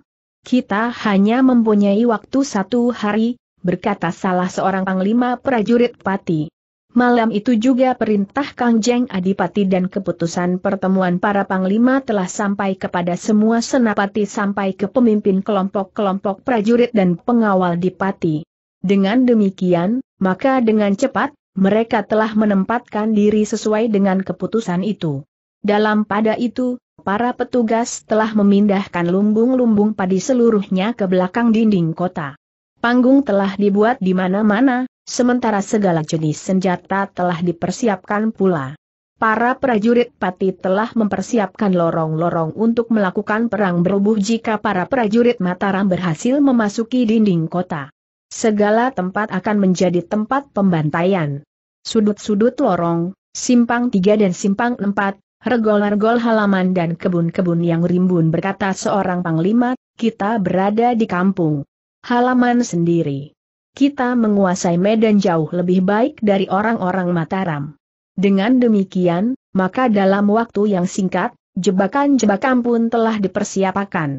Jika pasukan Mataram memasuki dinding kota, mereka akan mendapat sambutan jauh lebih baik dari sambutan yang pernah mereka berikan ketika prajurit Mataram memasuki benteng pesanggrahan Kangjeng Adipati Pati di Prambanan. Dalam pada itu, Malam itu, pasukan Mataram berhenti dan beristirahat di tempat yang memang sudah mereka rencanakan. Tiga pasukan yang besar berada di tiga padukuhan yang tidak terlalu dekat. Para prajurit dan pengawal mempergunakan waktu istirahat mereka dengan sebaik-baiknya. Selain yang bertugas, maka demikian mereka selain makan malam, mereka telah mencari tempat yang terbaik untuk tidur. Besok, pasukan ini masih akan berjalan sehari lagi. Kita masih akan bermalam di perjalanan. Sedangkan di hari berikutnya kita masih akan melanjutkan perjalanan mendekati Pati. Namun malam itu juga Panembahan Senapati mendapat laporan bahwa Pati telah menarik semua kekuatannya ke belakang dinding kota. Jadi kita tidak akan memasang gelar perang, berkata Panembahan Senapati. Laporan itu menjadi pasti, ketika petugas sandi yang lain pun telah memberikan keterangan yang sama. Pati telah menarik semua kekuatannya ke dalam dinding kota. Satu tugas yang berat, berkata Panembahan Senapati Bimas Adipati akan memanfaatkan penguasaan mereka atas medan.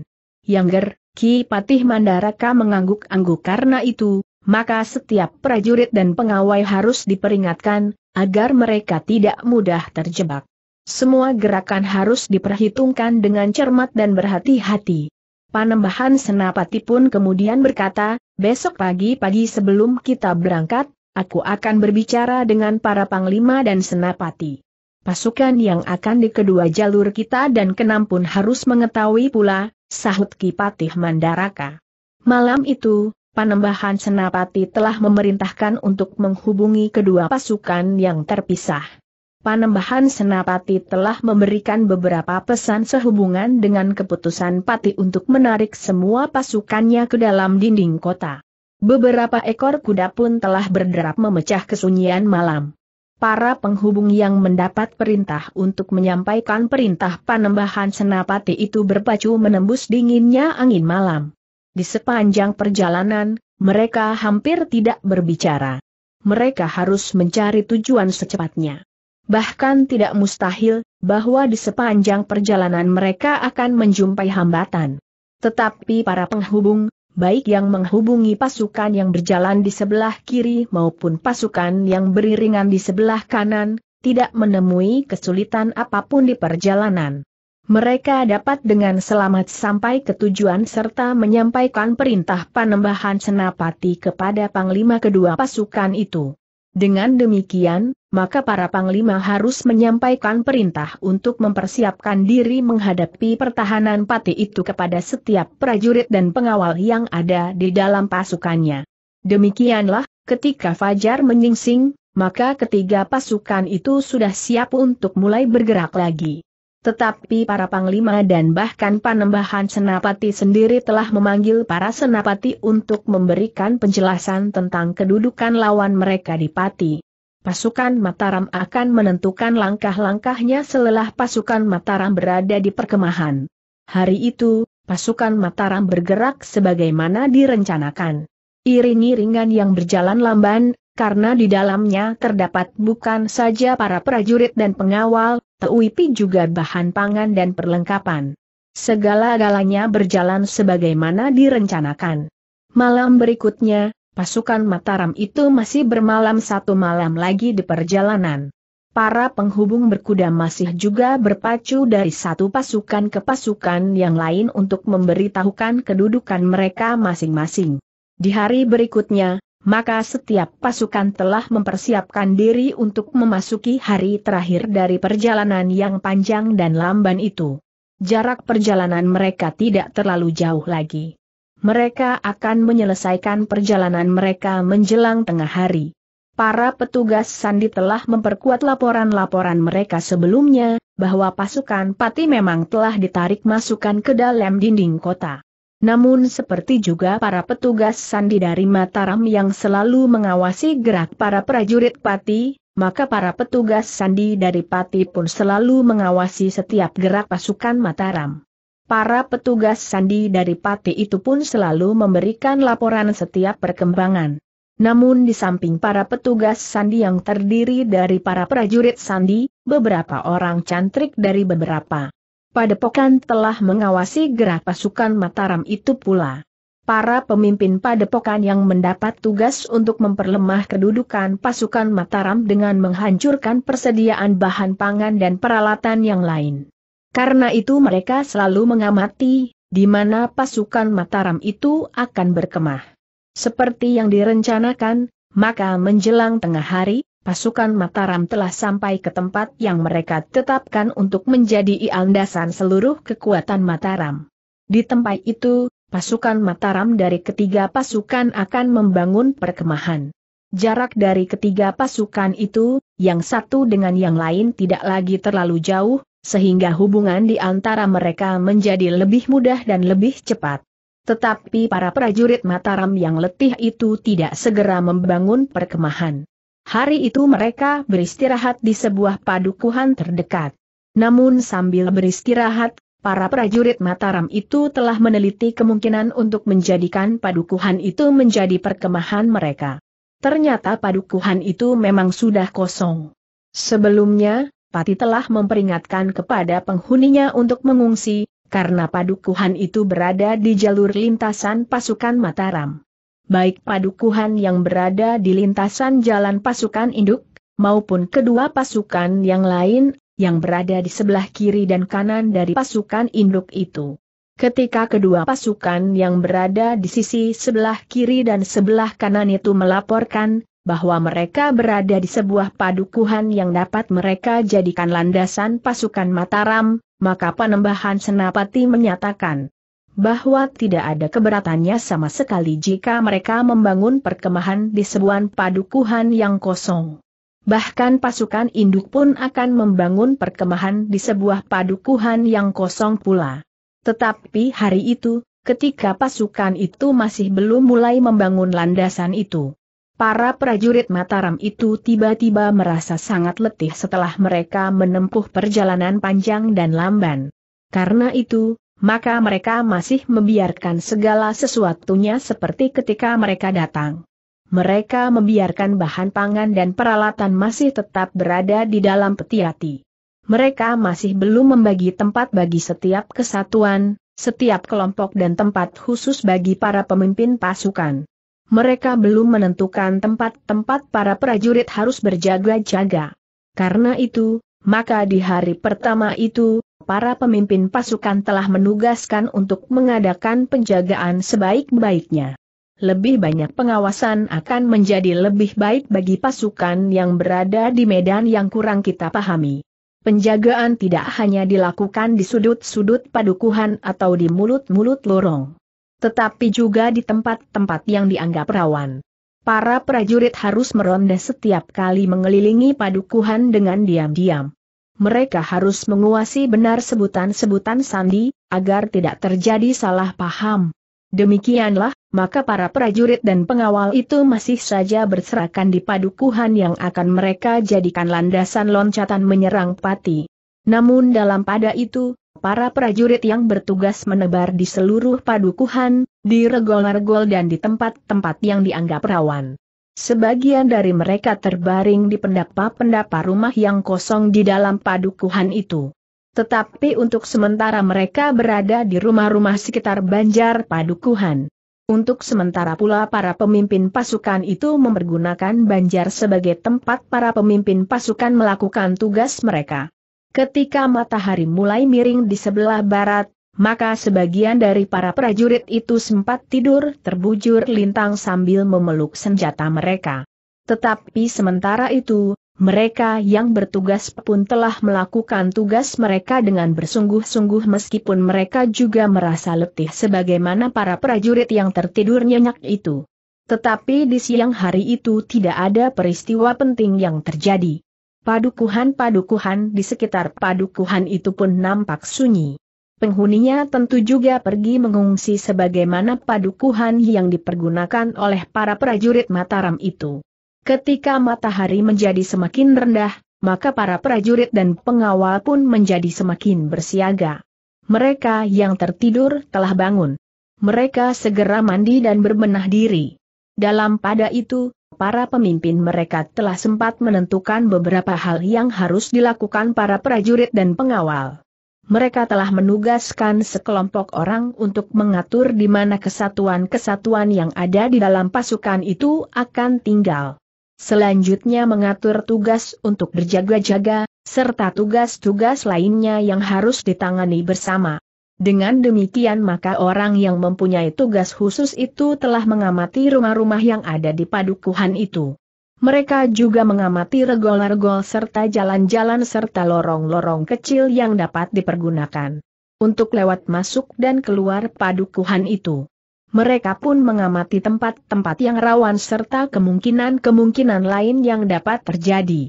Dengan bahan itulah, maka sekelompok orang yang mendapat tugas khusus itu telah menyusun berbagai macam ketentuan yang berlaku bagi para prajurit dan pengawal yang ada di dalam pasukannya yang akan berlaku sejak hari kedua. Sementara itu, pasukan induk yang dipimpin oleh Panembahan Senapati sendiri justru mempergunakan tiga buah padukuhan yang berdekatan. Bukan saja karena jumlah mereka terlalu banyak untuk satu dan bahkan dua buah padukuhan tetapi dengan menempatkan mereka di tiga padukuhan, maka mereka akan merasa menjadi lebih tenang. Mereka masing-masing akan dapat saling mengamati. Para petugas di satu padukuhan akan dapat melihat padukuhan yang lain dari jarak yang cukup. Tidak terlalu dekat, tetapi juga tidak terlalu jauh.